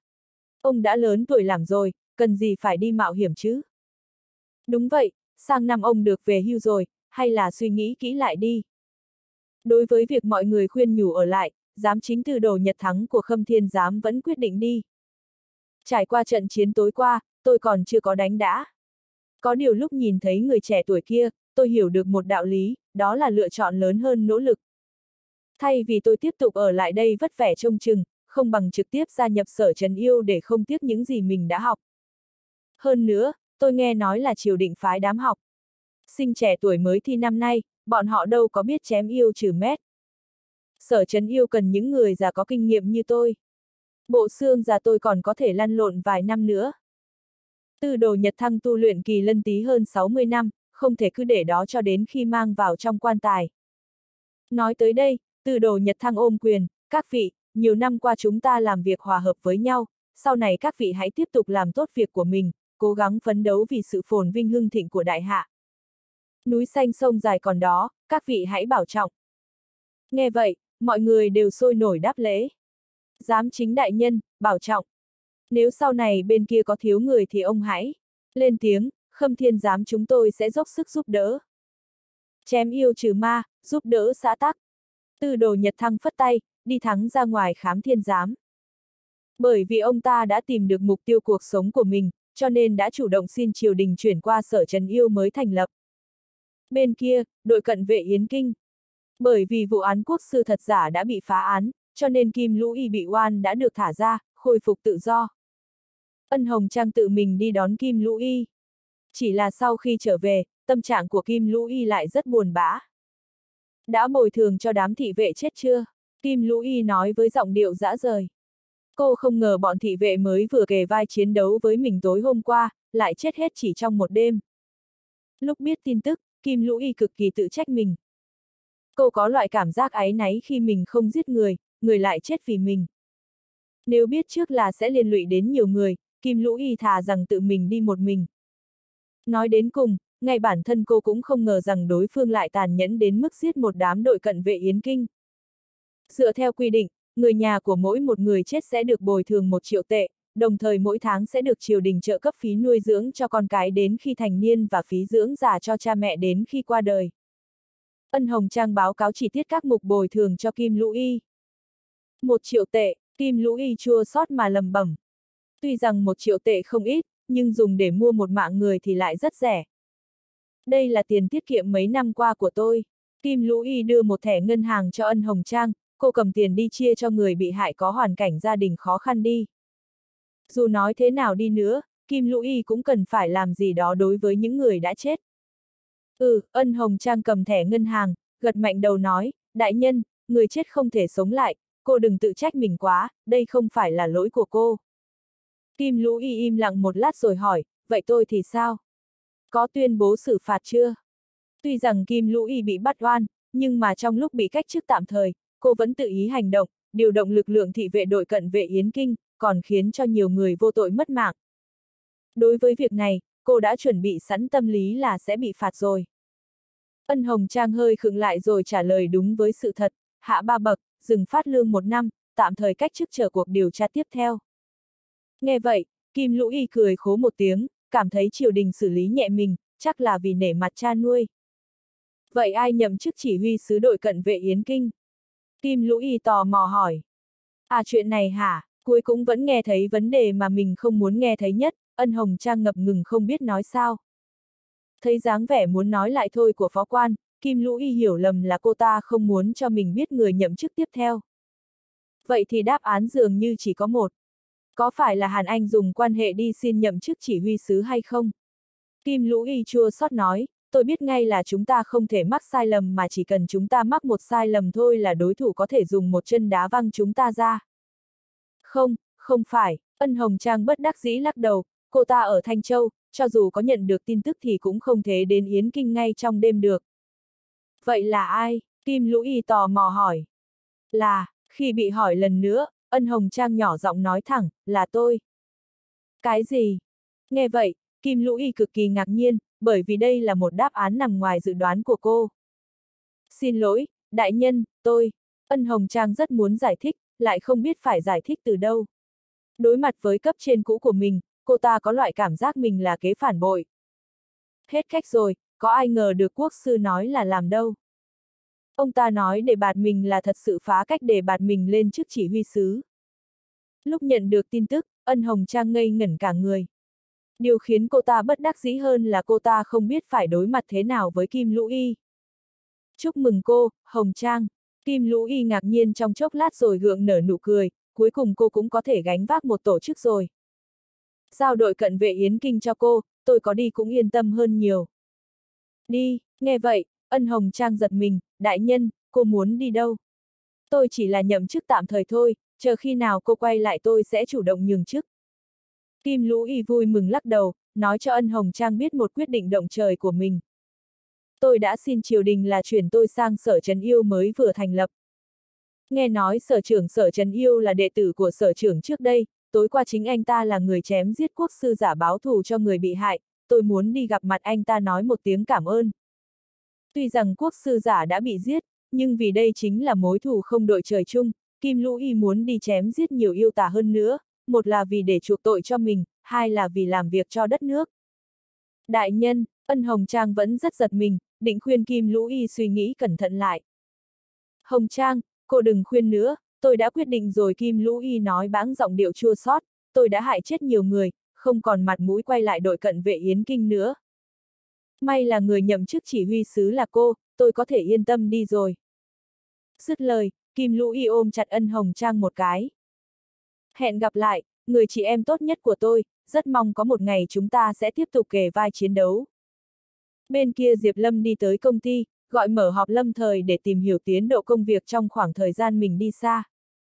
Trong cuộc họp, Bạch Phi Vi đưa cho Diệp Lâm, xem lô thuốc thành phẩm đầu tiên được sản xuất bởi xưởng thuốc Phụng Thiên. Diệp Lâm cầm lên xem thử một lát, cảm thấy rất vừa lòng. Anh chỉ cần dùng linh trận rót thêm một loại thuốc dẫn là đan dược có thể chính thức bán ra thị trường. Có điều, Bạch Phi Vi đổi giọng, nói với vẻ lo lắng, bên Phụng Thiên còn gặp được một ít rắc rối. Rắc rối gì? Diệp Lâm sửng sốt. Minh giết chết tọa Sơn Điêu, nổi tiếng khắp. Phụng Thiên, đáng ra là không có dân bản địa nào. Dám đối đầu với mình mới đúng chứ. Là cổ võ giả núi Trường Bạch, Bạch Phí Vi nói, nghe nói bọn họ lấy cớ là báo thù cho một nhà họ hứa đỉnh ưng trủy, nhân cơ hội thâu tóm thế lực của chúng ta ở Phụng Thiên. Ồ, có chuyện này nữa hả? Diệp Lâm nhíu mày, sắc mặt lạnh lùng, đám cổ võ giả núi Trường Bạch đúng là tự tìm đường chết. Đã vậy thì tôi sẽ tự mình đi Phụng Thiên lần nữa, vừa thị sát xưởng thuốc vừa giải quyết cái rắc rối nhỏ ấy luôn. Dù sao thì cũng còn hơn nửa tháng nữa mới đến ngày nhậm chức sở Trần Yêu và ngày tổ chức đại hội toàn quân. Diệp Lâm vừa lúc tranh thủ thời gian rảnh đổi Phụng Thiên giải quyết rắc rồi triệt đề. Vậy thì tháng sau đan dược có thể thuận lợi bán ra thị trường. Ngoài ra, anh còn mang theo hồn rồng âm đã thu phục, định đưa cho đại xà dung hợp thử xem, có khi có thể giúp nó hóa rồng. Sau đó, Bạch Phi Vi bắt đầu giới thiệu năm đại gia tộc như là nhà họ Chu này kia. Sau khi bị thương hội mới do Diệp Lâm thành lập chèn ép, năm đại gia tộc hoàn toàn thất thế, muốn tiền không tiền, muốn người không người, tình thế bấp bênh. Nhưng mà trong khoảng thời gian gần đây, năm đại gia tộc lại kỳ tích mà khôi phục lại. Ai giúp bọn họ hả? Diệp Lâm tò mò hỏi. Nghe nói là chùm đầu tư nước ngoài rót vốn cho bọn họ Bạch Vi Vi có chút hận sắt không thành thép nói, còn về việc bọn họ phải trả giá bao nhiêu, ký hợp đồng bất công thế nào để kéo được số tiền đầu tư treo mệnh kia thì không ai biết cả. Nhưng có thể chắc chắn rằng không có lợi là sẽ không làm. Các ông trùm đầu tư nước ngoài giống như kên kên khát máu, nếu không có lợi là sẽ không ra tay giúp đỡ. Hóa ra là vậy Diệp Lâm gật đầu, nỏ mạnh hết đà mà thôi. Anh nghe thì nghe chứ không hề coi trọng. Muốn xử lý bên ngoài thì phải đẹp loạn bên trong trước. Chuyện gấp căn làm hiện giờ là nhanh chóng giải quyết rắc rối ở Phụng Thiên. Sau đó, Diệp Lâm ra lệnh tan họp, định đi về nhà xếp đồ ngày mai đi Phụng Thiên. Lúc đến gần biệt thự Vân Thượng Phong Hoa, anh chợt thấy hai người một giả một trẻ quen thuộc. Diệp Lâm nhìn kỹ mới nhớ ra là hai ông cháu thiên cơ tử. Đi cùng hai ông cháu là một người đàn ông ăn mặc kiểu môi giới đang giới thiệu biệt thự cao cấp ở đây. Tiểu Trần, tôi hỏi cậu, biệt thự ở đây là đắt tiền nhất Yến Kinh hả? Thiên cơ tử hỏi. Người môi giới Tiểu Trần cười nịnh nọt, tôi không dám nói là đắt tiền nhất, nhưng chắc chắn là một trong những nơi đắt tiền nhất Yến Kinh. Nghe vậy, cháu trai ngô nhạc lo lắng nói, ông nói, hay là thôi đi, đổi nơi khác đi, nhà ở đây đắt tiền quá. Đắt tiền mới tốt, người môi giới tiếp tục nói thêm vô, đắt tiền mới có thể thể hiện ra sự tôn quý của hai vị chứ. Thiên cơ tử có vẻ như là đồng ý, cười nói, tôi tính quẻ cả đời, chẳng lẽ không thể mua một căn biệt thự để hưởng thụ hay sao? Ông nghĩ đúng lắm, người môi giới giơ ngón tay cái lên, ở đây một đêm mới xem như là sống đáng một đời. Hơn nữa, những người sống ở đây đều có thân phận hiển hách, không giàu có thì cũng là quyền thế. Nếu có thể gia nhập hội của bọn họ thì còn lo gì ngày sau không kiếm được tiền. Hơn nữa, kẻ càng có tiền là sẽ càng mê tín, ông cứ đoán bừa một quẻ cho bọn họ là được 8.000 10.000 tệ rồi, kiếm tiền nhanh hơn bảy quán đầu đường nhiều. Dứt lời, người môi giới thấy Diệp Lâm đi ngang qua, giơ một ngón tay ra chỉ, nói, ông xem anh kia kìa, vừa nhìn là biết thân phận không bình thường rồi, nếu tính cho anh ta một quẻ. Thì chắc chân là sẽ không lấy đồng nào rồi. Diệp Lâm cười tiếp lời. Ây ra, cậu Diệp, trùng hợp quá đi, lại gặp mặt rồi. Thiên cơ tử miệng thì nói là trùng hợp, chứ mặt mày ông ta đều là vẻ không hề bất ngờ. Anh Diệp, ngô nhạc thấy Diệp Lâm thì cũng giật mình, chẳng lẽ anh Diệp ở đây hả? Diệp Lâm gật đầu, chỉ về phía căn biệt thự giữa sườn núi, ở đó đó. Phong thủy rất tốt thiên cơ tử chỉ nhìn thoáng, qua là âm thầm cảm thán, lúc nãy mới tới mình cũng coi trọng căn biệt thự giữa sườn núi. Ây ra, đó chính là Vân Thượng Phong Hoa nha. Người môi giới ngạc nhiên cảm thán, không ngờ ông lại quen biết chủ nhà có tiền ở đây, ngại quá ngại quá. Ngô nhạc bĩu môi, biệt thự dưới chân núi muốn mua cũng khó, mơ tưởng chỉ tới vị trí tốt trên núi. Thấy hai người họ định mua biệt thự ở đây, Diệp Lâm cảm thấy rất ngạc nhiên. Phải biết rằng lần trước gặp nhau ở Ung Châu, hai ông cháu thiên cơ tử còn trốn nợ khắp nơi đấy. Sao từ Ung Châu trở về là có tiền mua biệt thự cao cấp ở Yến Kinh rồi? Ha ha, thiên cơ tử đắc ý mà cười nói, là do uôn cắp đấy, tôi cược hết cả tiền mua quan tài lên Argentina rồi giàu to luôn. Tiếc là lúc ấy không có nhiều tiền vốn, ngay cả đi vay số tiền nhỏ ngân hàng cũng không cho, nếu không tôi cược nhiều hơn một chút, muốn mua vân thượng phong hoa của cậu cũng không khó đâu. Cứ như vậy, thiên cơ tử dùng hết tiền thẳng cược mua một căn biệt thự ở phong hoa Sơn Trang, bắt đầu làm hàng xóm với Diệp Lâm. Ngô nhạc buồn giàu nói, ông nội, hay là chúng ta dùng tiền thắng cược trả nợ trước đi. Lỡ như sau này, người ta đòi nợ tới tận đây thì phải làm sao? Thiên cơ tử cười nói, sợ gì chứ?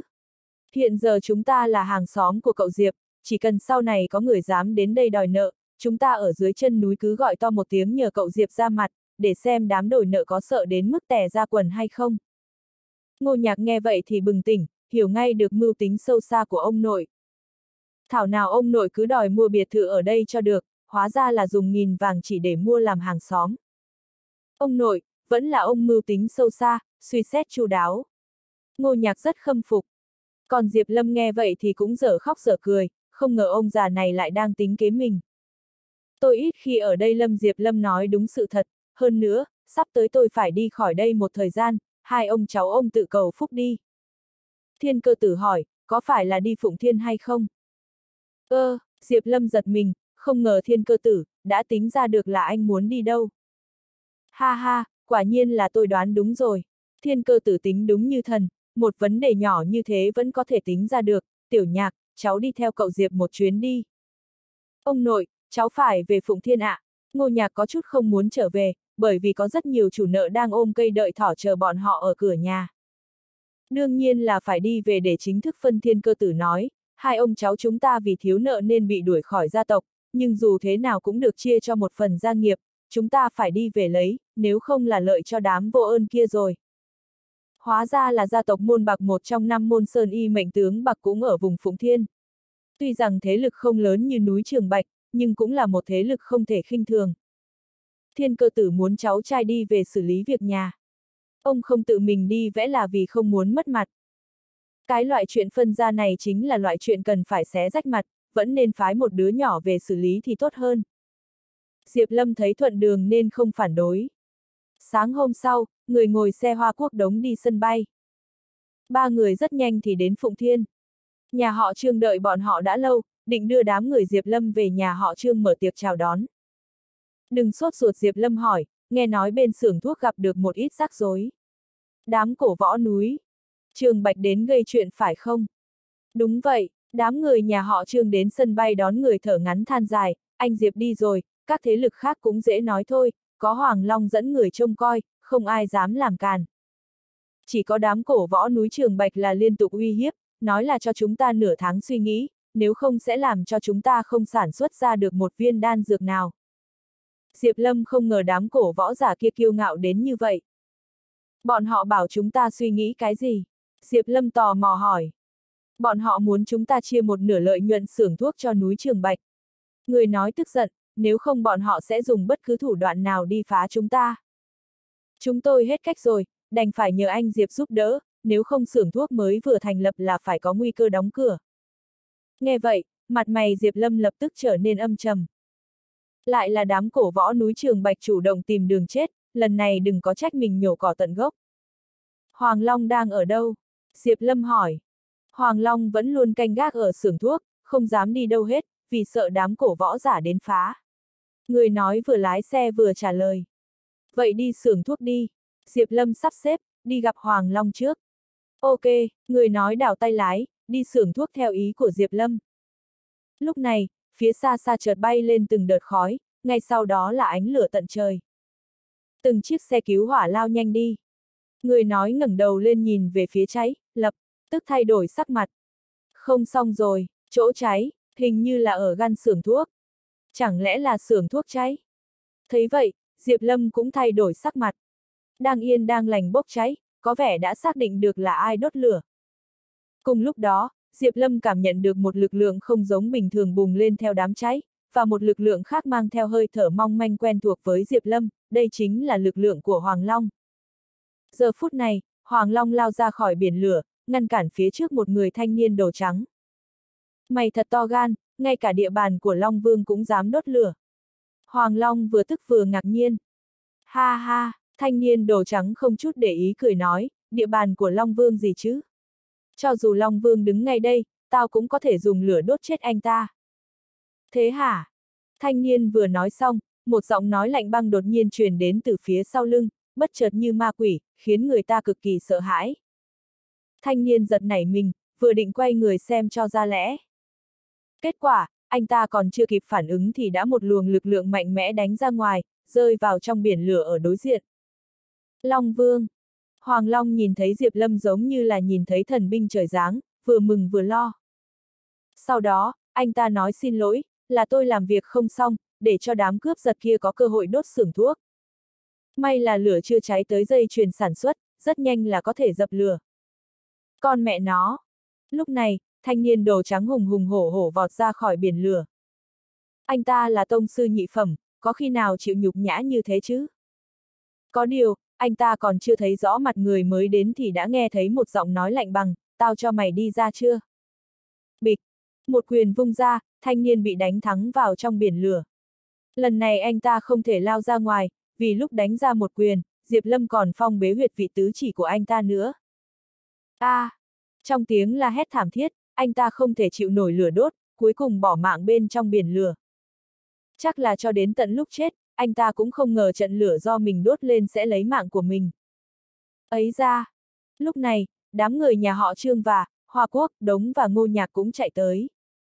Sau khi nhìn thấy tên cổ võ giả chết trong biển, lửa, đám người nhà họ Trương giật nảy mình, thay đổi sắc mặt.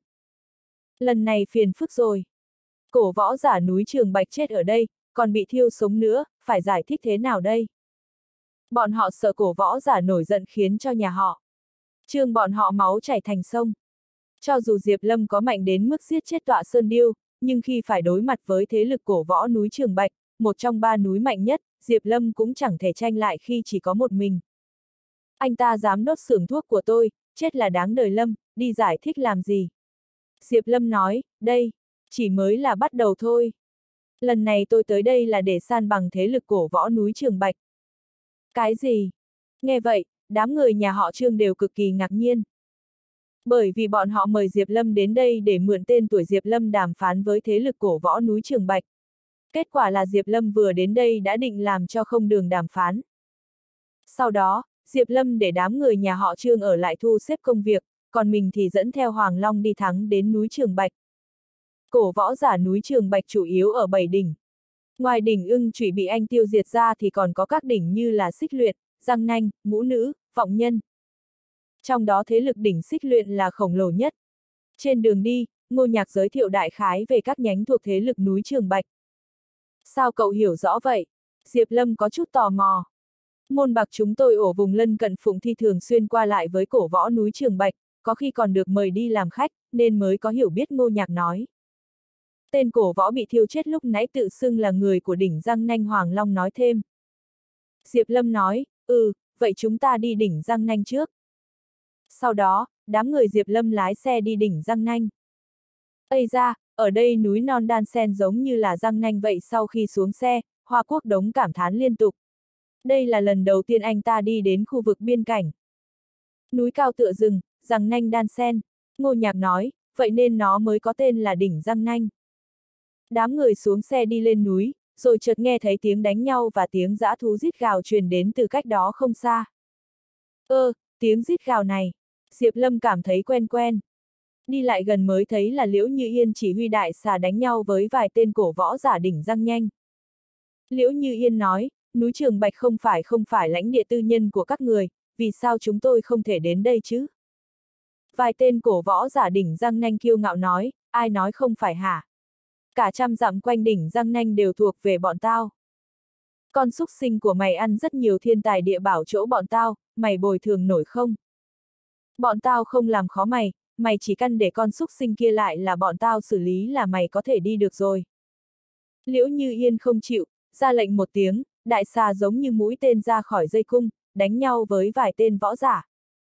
Đám võ giả có thực lực từ nhị phẩm trở lên, gần đến nhất phẩm, nếu đánh riêng lẻ thì sẽ không bằng đại xà, nhưng hiện giờ bọn họ hợp tác với nhau, uy lực tăng lên gấp đi. Trong nhất thời, bảy tám tên cổ võ giả đánh túi bụi với đại xà, chẳng ai thua ai. Chỉ một con xúc sinh thôi mà sao khó chơi như vậy. Đám cổ võ giả có chút luống cuống, không ngờ cả bọn cùng lên đánh mà cũng không bắt được đại xà. May là bọn họ người đông thế mạnh, nếu không chắc chắn là sẽ lật thuyền trong mương, chín phần chết một phần sống. Khởi động trận pháp. Đám cổ võ giả vừa đánh vừa lùi, dẫn đại xà vào trận pháp đã bố trí sẵn. Lúc đại xà rơi vào trận pháp, vài lưỡng sáng từ mặt đất chợt bản lên, bao vây đại xà. Mỗi một lưỡng sáng đều chứa đầy bóng kiếm, sắc bén lại lãnh lẽo. Đại xà bị nhốt ở bên trong, lại thêm 7-8 tên cổ võ giả cường đại tấn công liên tục, lập tức rơi xuống thế thua. Tiên nhỉ, liễu như yên lòng như lửa đốt, chỉ là thực lực của cô không đủ để xông lên.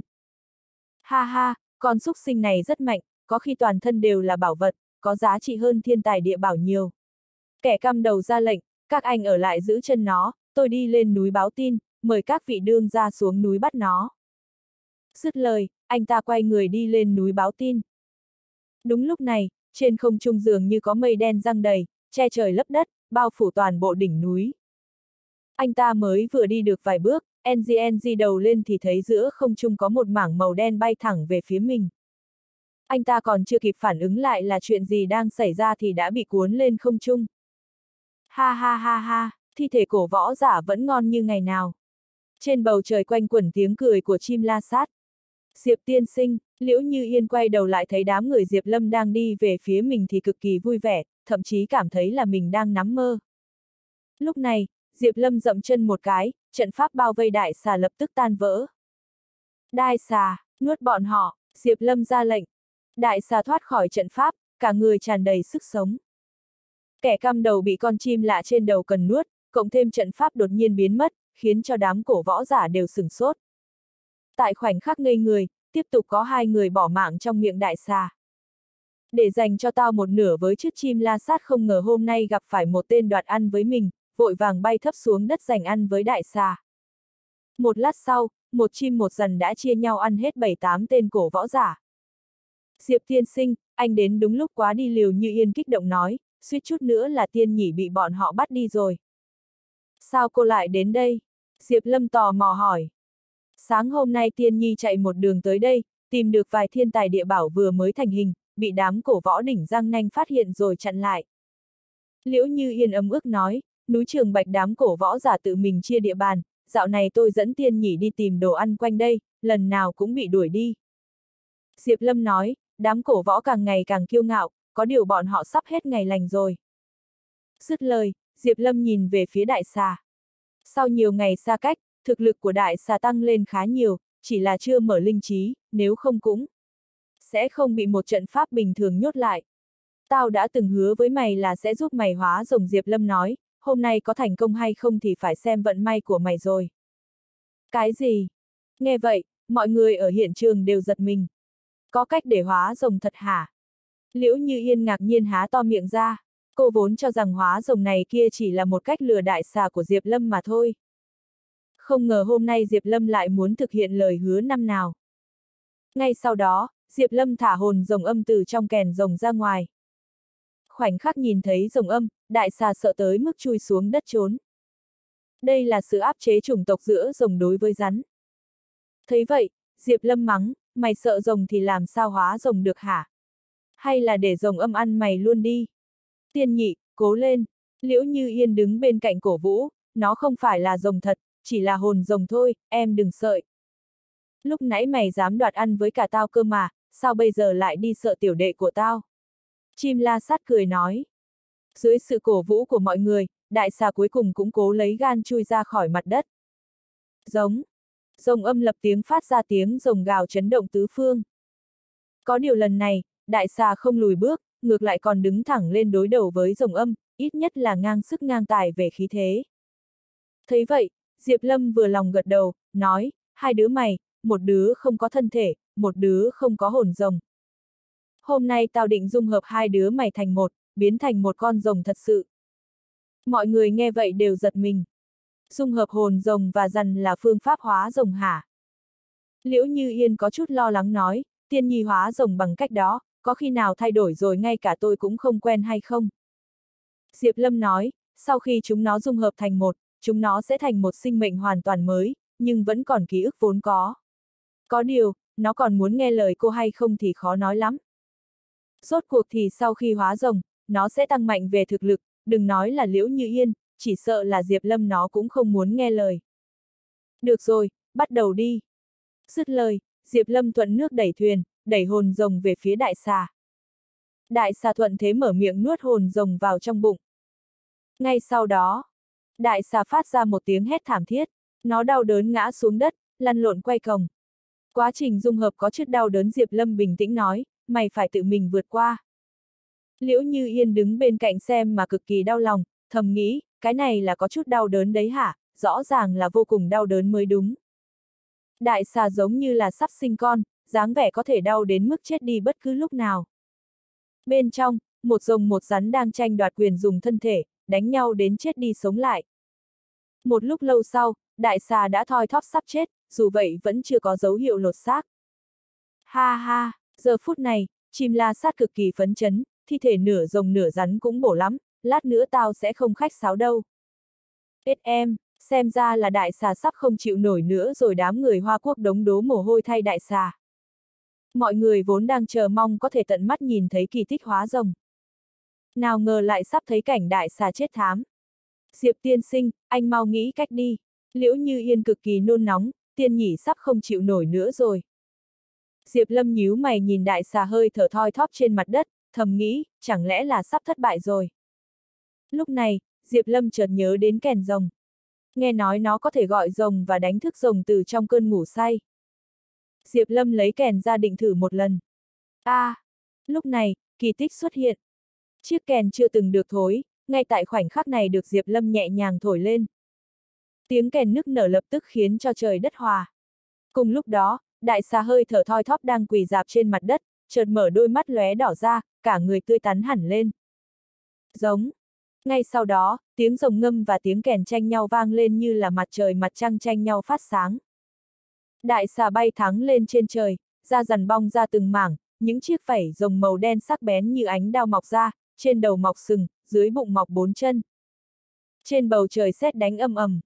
Một con dao long đầu cá sấu, đuôi rắn, cả người mọc vảy, trên đầu có sừng xuất hiện trước mặt mọi người. Đám người Hoa Quốc đống thấy vậy đều ngạc nhiên trợn mắt há mồm. Trời ạ, à, hóa rồng thật rồi kìa. Đó là rồng hả, nhìn ghê gớm quá nha. Anh Diệp giỏi quá đi, búng tay cái là rắn thành rồng, giống như là thần tiên chỉ đường vậy. Liễu Như Yên thấy tiên nhi được như mong muốn mà thành rồng thì thật lòng thật dạ vui mừng cho nó. Có điều, trong khi vui mừng, cô vẫn không nhịn được mà cảm thấy mất mát. Bởi vì giao long trước mắt không còn giống như đại xà nữa, trở nên khác hoàn toàn rồi. Ngay cả hơi thở mà Liễu Như Yên quen thuộc nhất cũng đã thay đổi. Tiên nhĩ, Liễu Như Yên run rẩy gọi một tiếng. Giao long trên không trung không hề phản ứng, dường như là không nghe thấy vậy. Ai ra, quả nhiên là nó vẫn quên mình. Liễu Như Yên thất vọng cúi đầu. Có điều, đây là lựa chọn của tiên nhị, Liễu Như Yên tôn trọng quyết định của nó. Ha ha ha, người anh em, chúc mừng mày có được một thân thể cường đại. Chim la sát cũng đang bay trên không trung cười ra tiếng là lạ, tiếc là miếng thịt rồng tới tận miệng lại bay đi. Giống. Giao long rít gào một tiếng, sau đó vọt về phía chim la sát. Ngay sau đó, một rồng một chim lao vào đánh nhau giữa không trung. Nhãi danh, mày dám đánh tao hả? Mày quên tao từng thương mày cỡ nào hả? Nghe vậy, Giao Long có vẻ giận dữ hơn nữa, trong tiếng rít gào có dẫn theo lửa đốt cháy chim la sát, khiến chim la sát phải bay nhảy tránh né. Chết! Sao mày lại trở nên lợi hại như vậy hả? Chim la sát không ngờ sau khi hóa thành rồng, thằng em mà mình từng đánh không đánh trả, mắng không cãi lại có thể đè đánh mình. Chủ nhân, người còn không ra tay thì tôi phải bị con ác long kia đánh chết. Chim la sát vội vàng cầu Diệp Lâm ra tay cứu giúp. Một cơn gió đen thổi qua, chim la sát trốn ra phía sau Diệp Lâm. Giao Long càng đánh càng hãng, không chịu dừng tay, đánh về phía Diệp Lâm, dường như phải đánh cho. Chết chim la sát mới chịu. Dừng tay. Diệp Lâm quát lớn một tiếng. Có điều, Giao Long coi như không nghe thấy, tiếp tục tấn công. Tao bảo mày, dừng tay. Khoảnh khắc đầu rồng lao tới, Diệp Lâm đánh mạnh ra một quyền, đầu rồng khổng lồ lập tức nện xuống mặt đất, nện ra một hố sâu nửa thước. Quả nhiên, nắm đấm có hiệu quả hơn nói chuyện. Diệp Lâm bất đắc dĩ lắc đầu. Ngay lúc này, Giao Long đang bò dậy từ trên mặt đất phun ra một ngọn lửa về phía Diệp Lâm. Ngay sau đó, ánh lửa tận trời bao phủ đám người Diệp Lâm. Hừ, con nghiệt xúc này, tao giúp mày hóa rồng, mày lấy oán trả ơn vậy hả? Dám đánh tao nữa hả? Diệp Lâm đánh ra một trường, gió mạnh gào ghét dập tắt lửa cháy xung quanh. Tiếp đến là một quyền, đánh bay Giao Long ra ngoài lần nữa. Lần trước dùng mày để luyện Long quyền, hiểu về Long quyền nhiều hơn nữa. Lần này mày ra tay trước, vậy để tao luyện thêm lần nữa đi. Ngay sau đó, Diệp Lâm xông lên đánh với Giao Long. Long quyền chín thức ở trong tay Diệp Lâm cực kỳ uy lực, thức nào cũng đè nặng Giao Long. Wow, ở trong tay Long Vương, Long quyền đánh ra uy lực mạnh thế kia kìa. Hoàng Long thấy vậy thì khen ngợi liên tục. Rất nhanh sau đó, Hoàng Long nhận ra rằng Long Vương đang dùng Giao Long để luyện quyền, và dường như Long quyền chỉ có khi đánh nhau với chân Long mới có thể nâng cao một bước. Thì ra là thế, Hoàng Long hiểu ra, sốt ruột đi lên giúp đố, Long Vương, để tôi giúp anh. Tuy rằng Hoàng Long đánh ra Long quyền có uy lực không được một phần mười Diệp Lâm, nhưng mà nhờ có anh ta khiêu khích và quấy rối, Giao Long khó có thể đỡ nổi sự tấn công từ hai người, rất nhanh thì thua cuộc, nằm y trên mặt đất tỏ vẻ phục rồi. Đừng đánh nữa, thấy Giao Long bị thương đầy người, Liễu Như Yên xông lên ngắn trước mặt Giao Long. Giao Long nhìn về phía Liễu Như Yên với vẻ biết ơn, cái loại quen thuộc giữa hai người dường như đã quay lại. Tôi cảm thấy long quyền của mình mạnh lên rất nhiều. Hoàng Long nhìn chằm chằm nắm tay mình, ngạc nhiên cảm thán. Giao Long, mày có phục tao không? Diệp Lâm lạnh lùng nói, nếu mày còn có ý xấu gì nữa, tao có thể giúp mày hóa rồng thì cũng có thể chém chết mày bất cứ lúc nào. Giao Long cúi đầu, không dám có suy nghĩ phản kháng. Là rồng thật hả? Đúng lúc này, phía trên ngọn núi xuất hiện một đám cổ võ giả. Bọn họ đều bị tiếng rồng ngâm dưới chân núi kéo đến đây, không ngờ đi xuống liền thấy một con dao long. Hay lầm, đỉnh răng nanh ta xuất hiện rồng. Mau, bắt sống cho tôi. Ngay sau đó, đám cổ võ giả đỉnh răng nanh lao nhanh xuống núi như mãnh hổ. Diệp Lâm nhìn lại, có khoảng 4-50 người. Một đám người chạy đến gần mới phát hiện có đám người Diệp Lâm ở đây. Bọn họ cho rằng đám người Diệp Lâm muốn đoạt rồng. Vậy nên, kẻ dẫn đầu đỉnh răng nanh nói, đây là địa bàn của đỉnh răng nanh tôi. Trời dáng điềm lành xuất hiện rồng, đương nhiên là thuộc về đỉnh răng nanh. Người không liên quan mau đi đi, nếu không đừng trách chúng tôi không khách sáo. Nghe vậy, đám người đỉnh răng nanh sôi nổi xua đuổi, mau cút đi. Bọn tao không rảnh rong dài với chúng mày. Diệp Lâm nhìn bọn họ, sau đó ra lệnh cho Giao Long, giết bọn họ. Giao Long ngồi dậy nhìn đám người mới tới, ánh mắt giận dữ, trong mũi tóe lửa. Nó đánh không lại Diệp Lâm, còn đám người trước mắt, ở trong mắt nó chẳng khác gì con kiến. Vừa lúc có thể lấy bọn họ ra để xả giận. Giống. Giao long rít gào giận dữ bay lên trên cao. Đám người đỉnh răng nanh ngửa đầu nhìn lên, trên mặt tràn đầy vẻ sợ hãi. Rồng, rồng bay nổi nữa hả? Tôi tưởng nó bị thương nặng chứ. Chắc là khó đối phó lắm đây. Đám người đỉnh răng nanh thấy giao long quỳ dạp trên mặt đất, dáng vẻ ốm yếu, định đi lên nhặt của hời. Kết quả là chỉ trong chớp mắt, con dao long kia lại hùng hùng hổ hổ lên. Khoảnh khắc đám võ giả hoảng sợ không biết phải làm sao. Giống. Lại một tiếng rít gào vang dội đất trời. Ngay sau đó, một lưỡng lửa từ trên trời thổi xuống lan tràn khắp mặt đất. Diệp Lâm vội vàng dẫn đám người Hoa Quốc đống tránh sang một bên. Mẹ nó, con rồng này biết phun lửa nữa hả? Trong chớp mắt, hiện trường bị lửa bao phủ, đám cổ võ giả giống như gà rừng quay, cả người bốc khói, chạy nhảy khắp nơi. Có điều, dù sao bọn họ cũng là cổ võ giả, thực lực rất mạnh, ngọn lửa kia không đủ khiến bọn họ mất mạng. Nếu đổi lại là người thường thì chắc là đã chết ngay lập tức khi vừa rơi trong biển lửa rồi. Dù thế, đám võ giả ngày thường trông rất huy phong, lúc này lại bị đốt cháy cả người chật vật, mất hết mặt mũi. Thật là buồn cười. Tôi phải làm thịt con ác long đó mới được. Đám cổ võ giả sôi nổi rút kiếm ném lên trên không, bóng kiếm giống như sao băng bay lướt qua chân trời. Dù sao cũng là cổ võ giả của một trong ba núi, thực lực yếu nhất cũng là nhị phẩm, thực lực trung bình trên nhất phẩm, thậm chí còn có nửa bước hóa cảnh tông sư áp trận. Mấy chục thanh kiếm cũng nhau bay ra, uy lực cực kỳ mạnh. Có điều, Giao Long bay lên không, vẫy đuôi một cái, lập tức đánh bay mấy chục mũi kiếm. Chỉ có một kiếm của nửa bước hóa cảnh tông sư là cắt qua vảy rồng, chảy một đường mỏng rồi thôi. Giống. Giao Long gầm lên giận dữ, quay người phun ra một ngọn lửa lớn hơn nữa. Không ổn rồi. Giờ phút này, sau một đợt đánh qua lại với Giao Long, đám cổ võ giả đỉnh răng nanh cũng đã nhận ra rằng tình huống có chút không ổn. Tạm thời không nói đến binh khí trong tay bọn họ đều đã bị đánh bay ra xa vài trăm thước, chỉ nói đến việc Giao Long từ trên cao nhìn xuống, phun lửa liên tục, khiến cho bọn họ có chút không đỡ nổi. Xem ra là, phải khởi động trận pháp bảo vệ đỉnh rồi.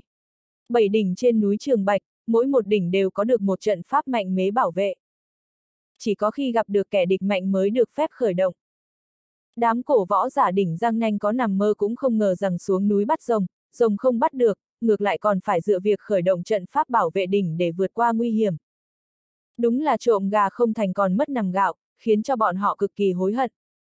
Phải biết rằng trận phải bảo vệ đỉnh khác với trận pháp mà vài tên đệ tử dùng để bao vây đại xà lúc nãy. Trận pháp lúc nấy chỉ là trận pháp cấp nhân, được bày ra rất nhiều dưới chân núi, giống như là trôn sẵn bom, có tác dụng bắt nhốt. Còn bây giờ, bọn họ muốn khởi động trận pháp bảo vệ đỉnh là trận pháp cấp địa, trải qua nhiều năm mài giữa và tích lũy, uy lực và hiệu quả đã gần đến trận pháp cấp thiên. Khuyết điểm duy nhất là nửa năm mới có thể khởi động một lần. Vậy nên bọn họ rất ít khi dùng nó. Nhưng mà hiện giờ, bọn họ chọc phải con dao long kia, lực lượng như là đại quân đông đúc, không thể không mở trận pháp. ầm, um. Ngay sau đó, trận pháp mở ra, bao phủ khắp đỉnh răng nanh, uy lực của nó mạnh hơn trận pháp bình thường lúc nãy hàng trăm lần. Giao Long thấy vậy thì thầm nghĩ, tao biết thứ này nè. Là cái thứ nhốt tao lúc nãy chứ gì. Lúc nãy mình chưa hóa rồng đã bị thứ này nhốt lại. Bây giờ mình hóa rồng rồi, chẳng lẽ còn bị thứ này nhốt nữa hả? Nghĩ vậy, Giao Long không chỉ không tránh né, ngược lại còn lao thẳng vào trận pháp bảo vệ đỉnh. ầm ầm ầm. Ngay sau đó, vài cột sáng màu xanh đen giống như là hàng rào sắc bản thắng lên trời, giống như tấm lưới trời nhốt Giao Long ở bên trong. Giống. Giao Long không chút sợ hãi, khinh thường rít gào, tinh thần phấn chấn, thân hình uốn lượn, định dùng sức phá tan cột sáng quanh người mình. Có điều. Dầm. Giống. Giao Long vừa ném cái đuôi ra là bị bản ngược lại. Nó đau đớn gào lên, nhìn xuống chỗ cái đuôi, có một mảng vảy rồng sắp bong ra. Giao Long giật mình, lúc này mới nhận ra được trận pháp hiện giờ khác với trận pháp ban nãy. Nhưng mà hiện giờ nó đã bị nhốt trong trận pháp, dù có muốn thoát ra thì cũng đã muộn rồi. Ha ha, không ngờ con rồng kia ngu quá, tự mình chui đầu với lưới. Chờ lát nữa mở tiệc thịt rồng, không thể ăn đầu óc nó, nếu không sẽ kéo thấp chỉ số thông minh trung bình của đỉnh răng nanh ta. Đám cổ võ giả đỉnh răng nanh thấy Giao Long tự mình chui đầu vô lưới thì cực kỳ vui mừng. Sau đó, cả đám đi lên, tay đấm chân đá, đánh tới tấp Giao Long. Trong nhất thời, quyền phong ẩm ý, đao kiếm gieo hò. Bốn năm mươi tên cổ võ giả bao vây trận pháp bảo vệ đỉnh, dùng hết mọi chiêu thức đánh Giao Long. Đáng thương con Giao Long bị nhốt trong trận pháp, khó có thể nhích người tránh né. Trận pháp bảo vệ núi dân Thu nhỏ lại, toàn bộ trận pháp giống như một lồng giam nhốt chặt chẽ Giao Long, không nhúc nhích được một chút nào. Hai, con rồng ngu xuẩn. Diệp Lâm thấy vậy thì bất đắc dĩ lắc đầu.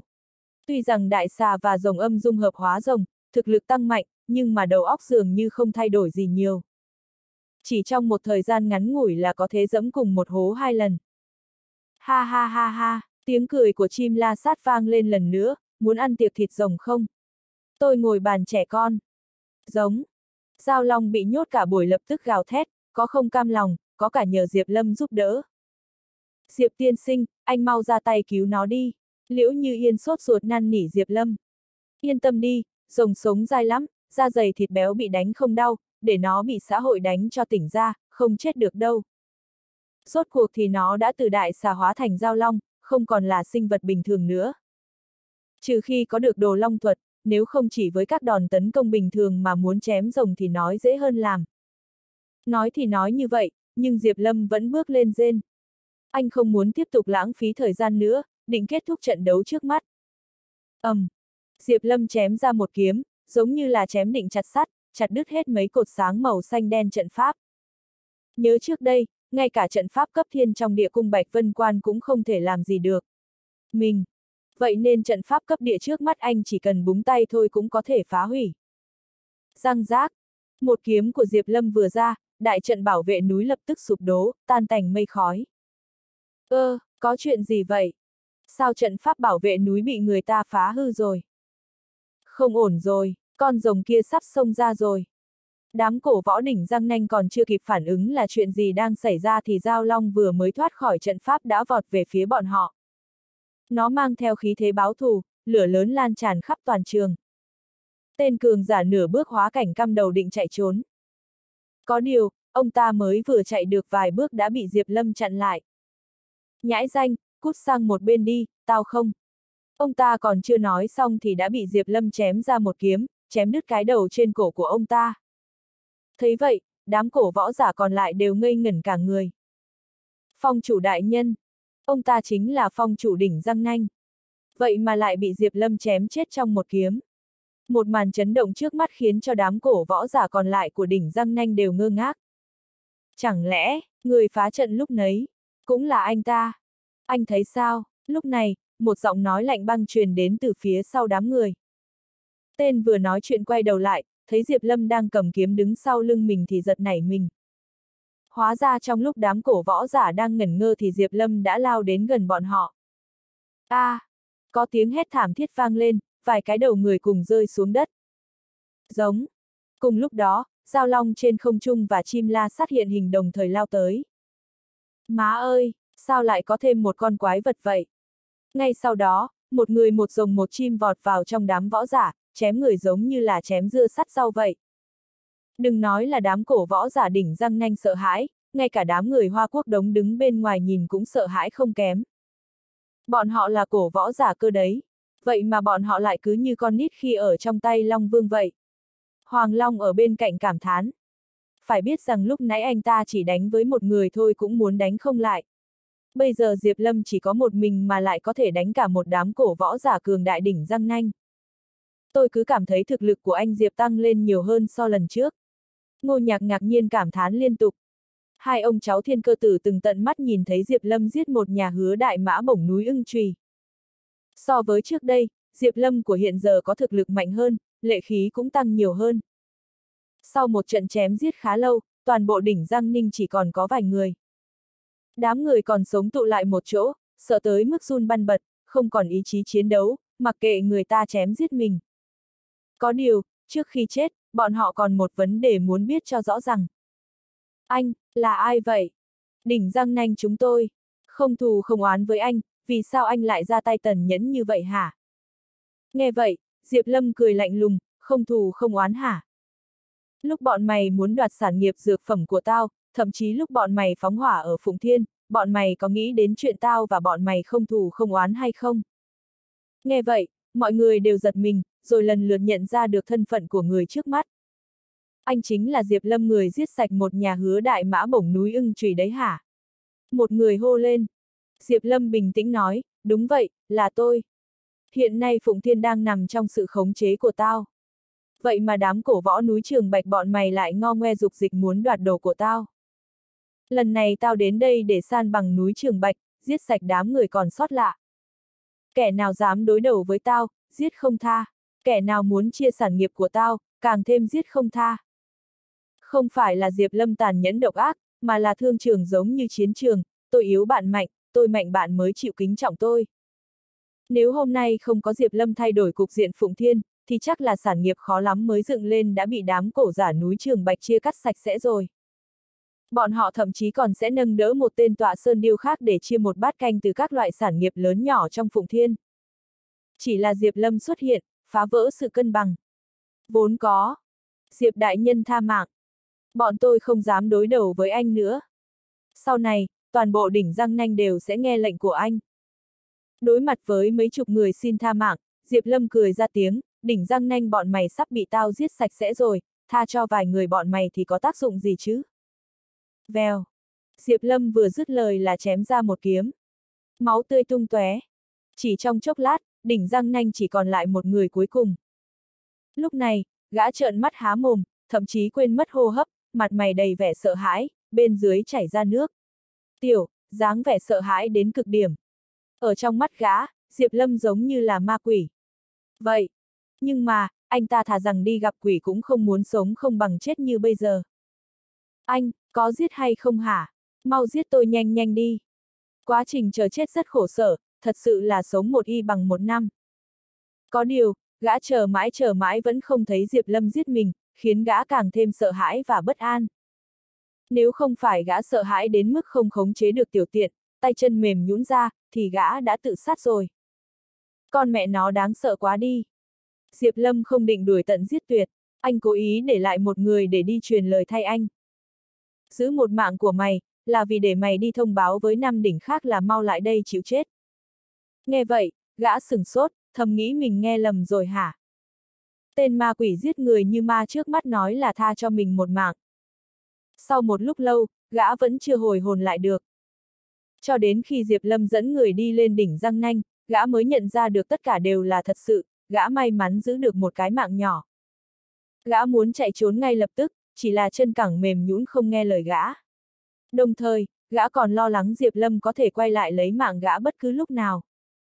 Vậy nên, trong loại cảm giác nôn nóng và dày vò, cả buổi sau gã mới ổn hơn một chút, vịn vào vách núi, miễn cưỡng đứng dậy. Gã vốn định bỏ chạy luôn, không đi truyền lời gì cả. Khó lắm mới được sống sót, xen vô chuyện bọn họ làm cái quý gì. Có điều, khi nhìn thấy trước mắt là mặt đất, máu, đồng môn ngày xưa dù chết cũng không còn thi thể, tình huống thảm thiết khiến gã cực kỳ giận dữ. Tên họ Diệp kia, mày tàn nhẫn lắm. Giết đỉnh ưng trùy rồi lại giết đỉnh răng nanh. Mày thật sự cho rằng cổ võ giả núi trường bạch dễ bị ức hiếp lắm sao? Gã bình tĩnh lại, nhanh chóng suy nghĩ một lần. Tuy rằng đỉnh răng nanh bọn họ thua rồi, nhưng mà cổ võ giả núi trường bạch vẫn còn năm nhà. Nếu Nam Đinh còn lại hợp tác với nhau thì có lẽ là sẽ thẳng được nhãi danh họ Diệp, thay mình báo thủ rửa hận cho toàn bộ đỉnh răng nanh. Nghe nói đỉnh chủ đỉnh xích luyện đã đột phá hóa cảnh tông sư, lên đến thần cảnh. Bảy đỉnh núi trường bạch tình như người thân, gã cần phải báo tin tức quan trọng này mới được, không thể để cho thắng nhãi họ Diệp giết từng nhà một, không ai kịp đề phòng. Phải rồi, mình không thể làm đào binh được. Chắc chắn là đám anh em đỉnh răng nanh trên trời có linh thiêng phù hộ cho mình còn sống. Nếu mình bỏ trốn thì cả cuộc đời mình đều phải sống trong ái náy. Mình cần phải đi báo với năm đỉnh chủ khác để hợp tác giết chết thằng nhãi họ Diệp kia mới được. Nghĩ đến đây, gã phấn chấn tính thần, lau lau vết máu trên mặt, thuận tiện nhặt một cái quần trông sạch sẽ từ tứ chỉ gãy ra ở hiện trường. Sau đó, gã chạy như bay ra ngoài, chỉ một ngày đã báo tin cho cả năm đỉnh núi Trường Bạch. Giờ phút này, phản ứng khi nhận được tin của đám đỉnh chủ là khác nhau, có cùng chung kẻ địch, có nghỉ ngờ không tin, có tham sống sợ chết. Cuối cùng, trải qua một ngày một đêm thảo luận, kết quả là đỉnh xích luyện dẫn đầu, ba đỉnh còn lại theo, cùng nhau bảo vệ thế lực cổ võ núi Trường Bạch. Đồng thời, đỉnh chủ đỉnh xích luyện còn suốt đêm gửi thư ra nước ngoài, muốn nhờ thêm một vài thế lực nước ngoài về đây đánh địch. Tiếc là đính bất lão, một trong bảy đỉnh đã dẫn toàn tộc chạy trốn ngay trong đêm. Khi đối đầu với kẻ địch mạnh, thế lực cổ võ đỉnh bất lão không chiến mà lui, khiến cho bốn đỉnh còn lại giận dữ, kéo vào danh sách kẻ địch của núi Trường Bạch. Thôi bỏ đi, tính hết thế lực bốn đỉnh chúng ta đã có hơn 500 cổ võ giả, đủ để đối phó với thẳng. Nhãi kia rồi. Cho dù thắng nhãi kia có một con rồng thì sao chứ? Trên tay tôi cũng có một con huyết điêu từng uống máu rồng cơ đấy. Đến lúc ấy, nếu thật sự có rồng thì cho nó ra trận nuốt trứng là được. Huống chí, tôi còn liên lạc với chiến thần biên cảnh Cao Câu Ly đang đóng quân ở biên cảnh, có thể dẫn quân chém giết thẳng nhãi kia bất cứ lúc nào. Lúc bốn đỉnh đỉnh chủ cho quân tụ tập một chỗ, đỉnh chủ đỉnh xích luyện lớn tiếng tẩy não trước trận chiến là bọn họ nhất định sẽ thẳng. Đám cổ võ giả nghe vậy thì hò hét đáp lại. Tất cả bọn họ đều cho rằng 500 tên cổ võ giả dư sức đi đối phó với 5 người, một rồng và một chim lạ. Hơn nữa, bọn họ còn có kẻ giúp đỡ ở nước ngoài, có thể đến đây bất cứ lúc nào. Thẳng lợi dường như ở ngay trước mắt. Gã còn sống duy nhất của đỉnh Giang Nanh đi báo tin ngay trong đêm đang đứng trong đám đông cũng cực kỳ kích động, giống như là sắp báo thù được rồi. May là ngày hôm qua mình không lựa chọn bỏ chạy, nếu không làm gì có thanh thế ngày hôm nay. Cổ võ không thể chịu nhục, cổ võ núi trường bạch càng không thể chịu nhục. Tiếp theo là đến lượt thằng nhãi họ Diệp kia cảm nhận hậu quả đáng sợ khi dám trêu chọc núi Trường Bạch. Đánh lên đỉnh răng nanh, giết chết Diệp Lâm, báo thù cho toàn bộ anh em đỉnh răng nanh, mở bữa tiệc thịt rồng. Lên đi! Ngay sau đó, đám cổ võ hào hùng minh mông cuồn cuộn chay về phía đỉnh răng nanh. Cùng lúc đó, trên đỉnh Vinh Quang. Cha, không ngờ đám cổ võ giả đó biết tác động ghê sợ cơ. Có nhiều đồ gia dụng hiện đại, tất cả đều là nhãn hiệu xa xỉ, không biết bọn họ ở trên núi tu luyện hay bị ảnh hưởng ụ nữa. Thảo nào hạng hạng nhanh xếp hạng trong bảy hạng, chỉ biết ảnh hưởng, không biết cố gắng tu luyện. Đám người Diệp Lâm đi vào sảnh chính đỉnh cấp, nhanh, ai cũng bất ngờ trước trang hoàng xa hoa bên trong. Ở trong biểu tượng của mọi người, cổ võ giả dù không nghèo kiệt cũng là vất vả tu luyện. Có ai nghỉ ngờ trên đỉnh răng nanh đầy đủ đình đài lầu các, phân lụa tinh tế tương tự như cung điện. Hơn nữa, trong các tòa nhà đều được trang hoàng xa hoa, có cả đồ ra lợi tiền, không thiếu một thứ gì. Nhẹ nhàng khi Hoàng Long vừa bước vào cửa còn bị một con robot quét không điện ngã. Trời ạ, à, đám cổ võ giả đó vô nhân tính quá đi. Robot quét lên là để quét nhà, bọn họ dùng nó đi quét núi. Đám cổ võ giả đỉnh cấp nhanh sống xa hoa lãng phí, trên núi lại có nhiều bảo bối tốt, ví dụ như thiên tài địa bảo chỉ ó trên núi Trường Bạch, bởi vì có sẵn cho nên bọn họ tích góp rất nhiều. Diệp Lâm nhìn thấy thì lấy ra trong kho chứa vật liệu. Sau đó, Diệp Lâm đi vòng quanh sảnh chính, thấy không còn gì để lấy lại mới đi ra bên ngoài. Anh nhìn ra phía xa từ trên đỉnh của đỉnh Giang Nanh, một nửa đỉnh trường bạch rơi hết vào trong mắt, khói sóng mo mo, tựa như ư tiên cảnh, đứng ở bên trong có loại cảm giác xa rời thế giới, giống như nơi mình chính là trung tâm kết nối đất trời. Từng ngày sống ở đây, trong mắt đều là đất trời, trong lòng như mang cả vũ trụ, bỏ hết mọi tạp niệm, chỉ còn lại một ý niệm, muốn không cường đại cũng khó. Thảo nào núi Trường Bạch, núi Côn Lôn này kia tụ tập rất nhiều cổ võ giả. Lúc Diệp Lâm như cưỡi ngựa xem hoa mà người xem cảnh sắc mỗi một chỗ thuộc đỉnh răng nanh, anh chợt để ý thấy trên mỗi một đỉnh núi đều có một tấm bia đá khảm dưới mặt đất, tuy rằng không nổi bật nhưng đỉnh cao núi nào cũng có, rất dễ khiến người ta tò mò. Bản sao có hợp lý hay có người cố gắng làm như vậy không? Diệp Lâm cự nhiên người, lau nửa tấm bia đá nhô lên trên mặt đất dưới chân mình, bên trên là một hoa văn cổ xưa, nhìn N hư trẻ con vẽ bụi, lại có một loại sức mạnh quỷ dị thu hút sự chú ý ý của Diệp Lâm. Một số góc bia đá này có tác dụng gì? Nghĩ đến đây, Diệp Lâm lập tỉnh dậy, leo người nhảy sang một đỉnh núi khác. Diệp Lâm lau đi lớp bụi đất trên tấm bia đá, kết quả nhiên bên trên cũng có cách giải quyết tương tự, chỉ là một loại hoa văn cổ ích văn khác. Tấm này có, tấm này cũng có. Diệp Lâm bay qua bay lại các đỉnh cao trên đỉnh cao nanh, như đang tìm kiếm cái gì đó. Người Hoa Quốc đống nhìn mà không hiểu ra sao. Rốt cuộc trưởng phụ đang làm gì vậy? Long Vương Đại Nhân làm việc gì, chúng ta viễn vọng sao? Sau đó, anh ta ngồi xổm xuống nhìn kỹ tấm bia đá. Chắc chắn là anh Diệp nhận được số lượng bình thường của mấy tấm bia đá này. Đám người Hoa Quốc đống cúi đầu xuống nhìn, chỉ là tấm bia đá bình thường thôi mà, có chỗ nào không bình thường đâu chứ. Để tôi thử bấm tay tính toán xem ngô nhạc học theo ông nội mình, định tính xem chuyện này rốt cuộc là sao. Sau đó, ngô nhạc gật gù đắc ý, trong miệng lẩm bẩm. Cả buổi sau, ngô nhạc hô to lên, có rồi. Có cái gì, đám người Hoa Quốc đống vội vàng. Tôi thấy có người của đỉnh xích luyện đang đánh lên đây từ dưới chân núi ngô nhạc chỉ xuống chân núi, hô lên. Nghe vậy, đám người Hoa Quốc đống lập tức tập trung nhìn kỹ xuống núi, quả nhiên là thấy mấy trăm tên cổ võ giả như sói như hổ vọt lên đỉnh răng nanh. Hoàng Long không nhìn được mà oán giận, tôi còn tưởng cậu tính ra được cái gì chứ. Tôi biết bọn họ, nói đến cùng, Ngô Nhạc vẫn là người thuộc ba núi Năm Môn, tất nhiên nhìn một cái là thấy không ít khuôn mặt quen thuộc, đám người đồ đỏ dẫn đầu là người của đỉnh xích luyện.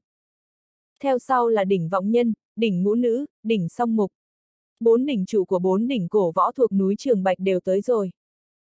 Có điều không thấy người của đỉnh bất lão, chẳng lẽ là bọn họ đang núp để đánh lén hả? Hoàng Long thấy tình hình nguy hiểm, bèn vội vàng chạy đến đỉnh núi đối diện báo tin với Diệp Lâm. Long Vương Đại Nhân, không xong rồi. Đám cổ võ giả núi Trường Bạch ở chân núi tụ tập xong rồi, bây giờ đang tấn công lên trên đây. Long Vương Đại Nhân, anh bị sao vậy? Hoàng Long vừa nói được một nửa thì chợt để ý thấy trạng thái lúc này của Long Vương có chút không thích hợp. Diệp Lâm đè một tay lên trên tấm bia đá, đôi mắt nhắm lại, giống như là đi vào cõi hư vô, quên mất mọi thứ xung quanh. Đừng nói là động tĩnh dưới chân núi, ngay cả Hoàng Long đứng kế bên nói mà anh cũng không nghe thấy.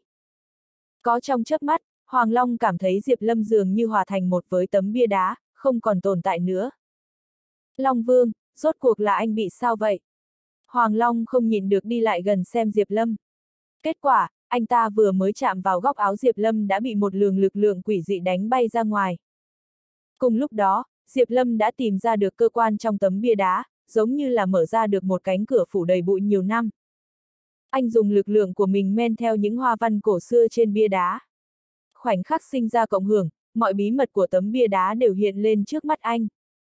Giây phút cánh cửa mở ra, Diệp Lâm dường như thật sự đặt mình trong thiên địa, đồng thời hiểu ra được vạn vật, âm dương, tiên thiên chi tưởng, chi số, chi lý, đơn giản dễ hiểu lại cực kỳ sâu sắc. Ngay sau đó, Diệp Lâm lập tức biết được cái thứ trước mắt mình là gì.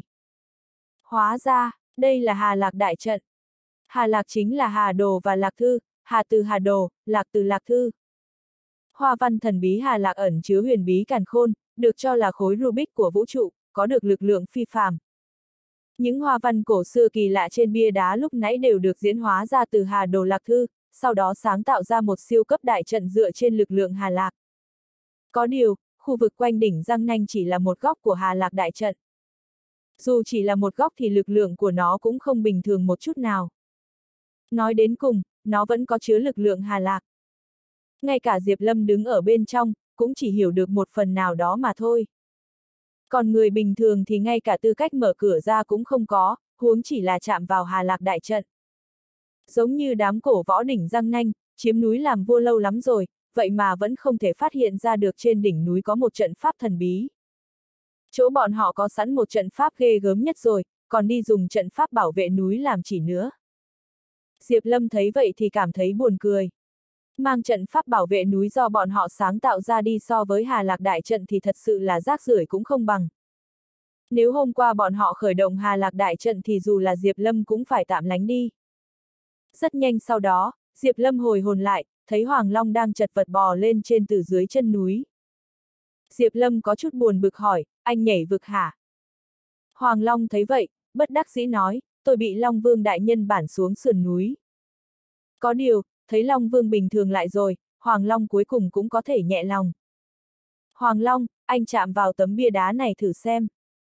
Diệp Lâm dẫn đường cho Hoàng Long đi chạm vào sự huyền bí trên tấm bia đá. Nhưng dù Hoàng Long có vận chuyển lực lượng của mình thế nào đi nữa thì cũng không mở cửa ra được. Long Vương Đại Nhân, anh phát hiện gì trên tấm bia đá vậy? Hoàng Long cực kỳ tò mò. Phát hiện một lưỡng lực lượng không bình thường. Diệp Lâm nhìn quanh, không biết ở trên núi Trường Bạch, thậm chí là ở toàn bộ đại hạ, rốt cuộc có bao nhiêu chỗ có hà lạc đại trận. Và thần thánh phương nào bố trí trận pháp thần bí này vậy? Ây ra, suýt chút nữa quên mất, khi bên tai nghe thấy tiếng hò hét của đám cổ võ giả, Hoàng Long mới chợt nhớ lại mục đích đến đây của mình.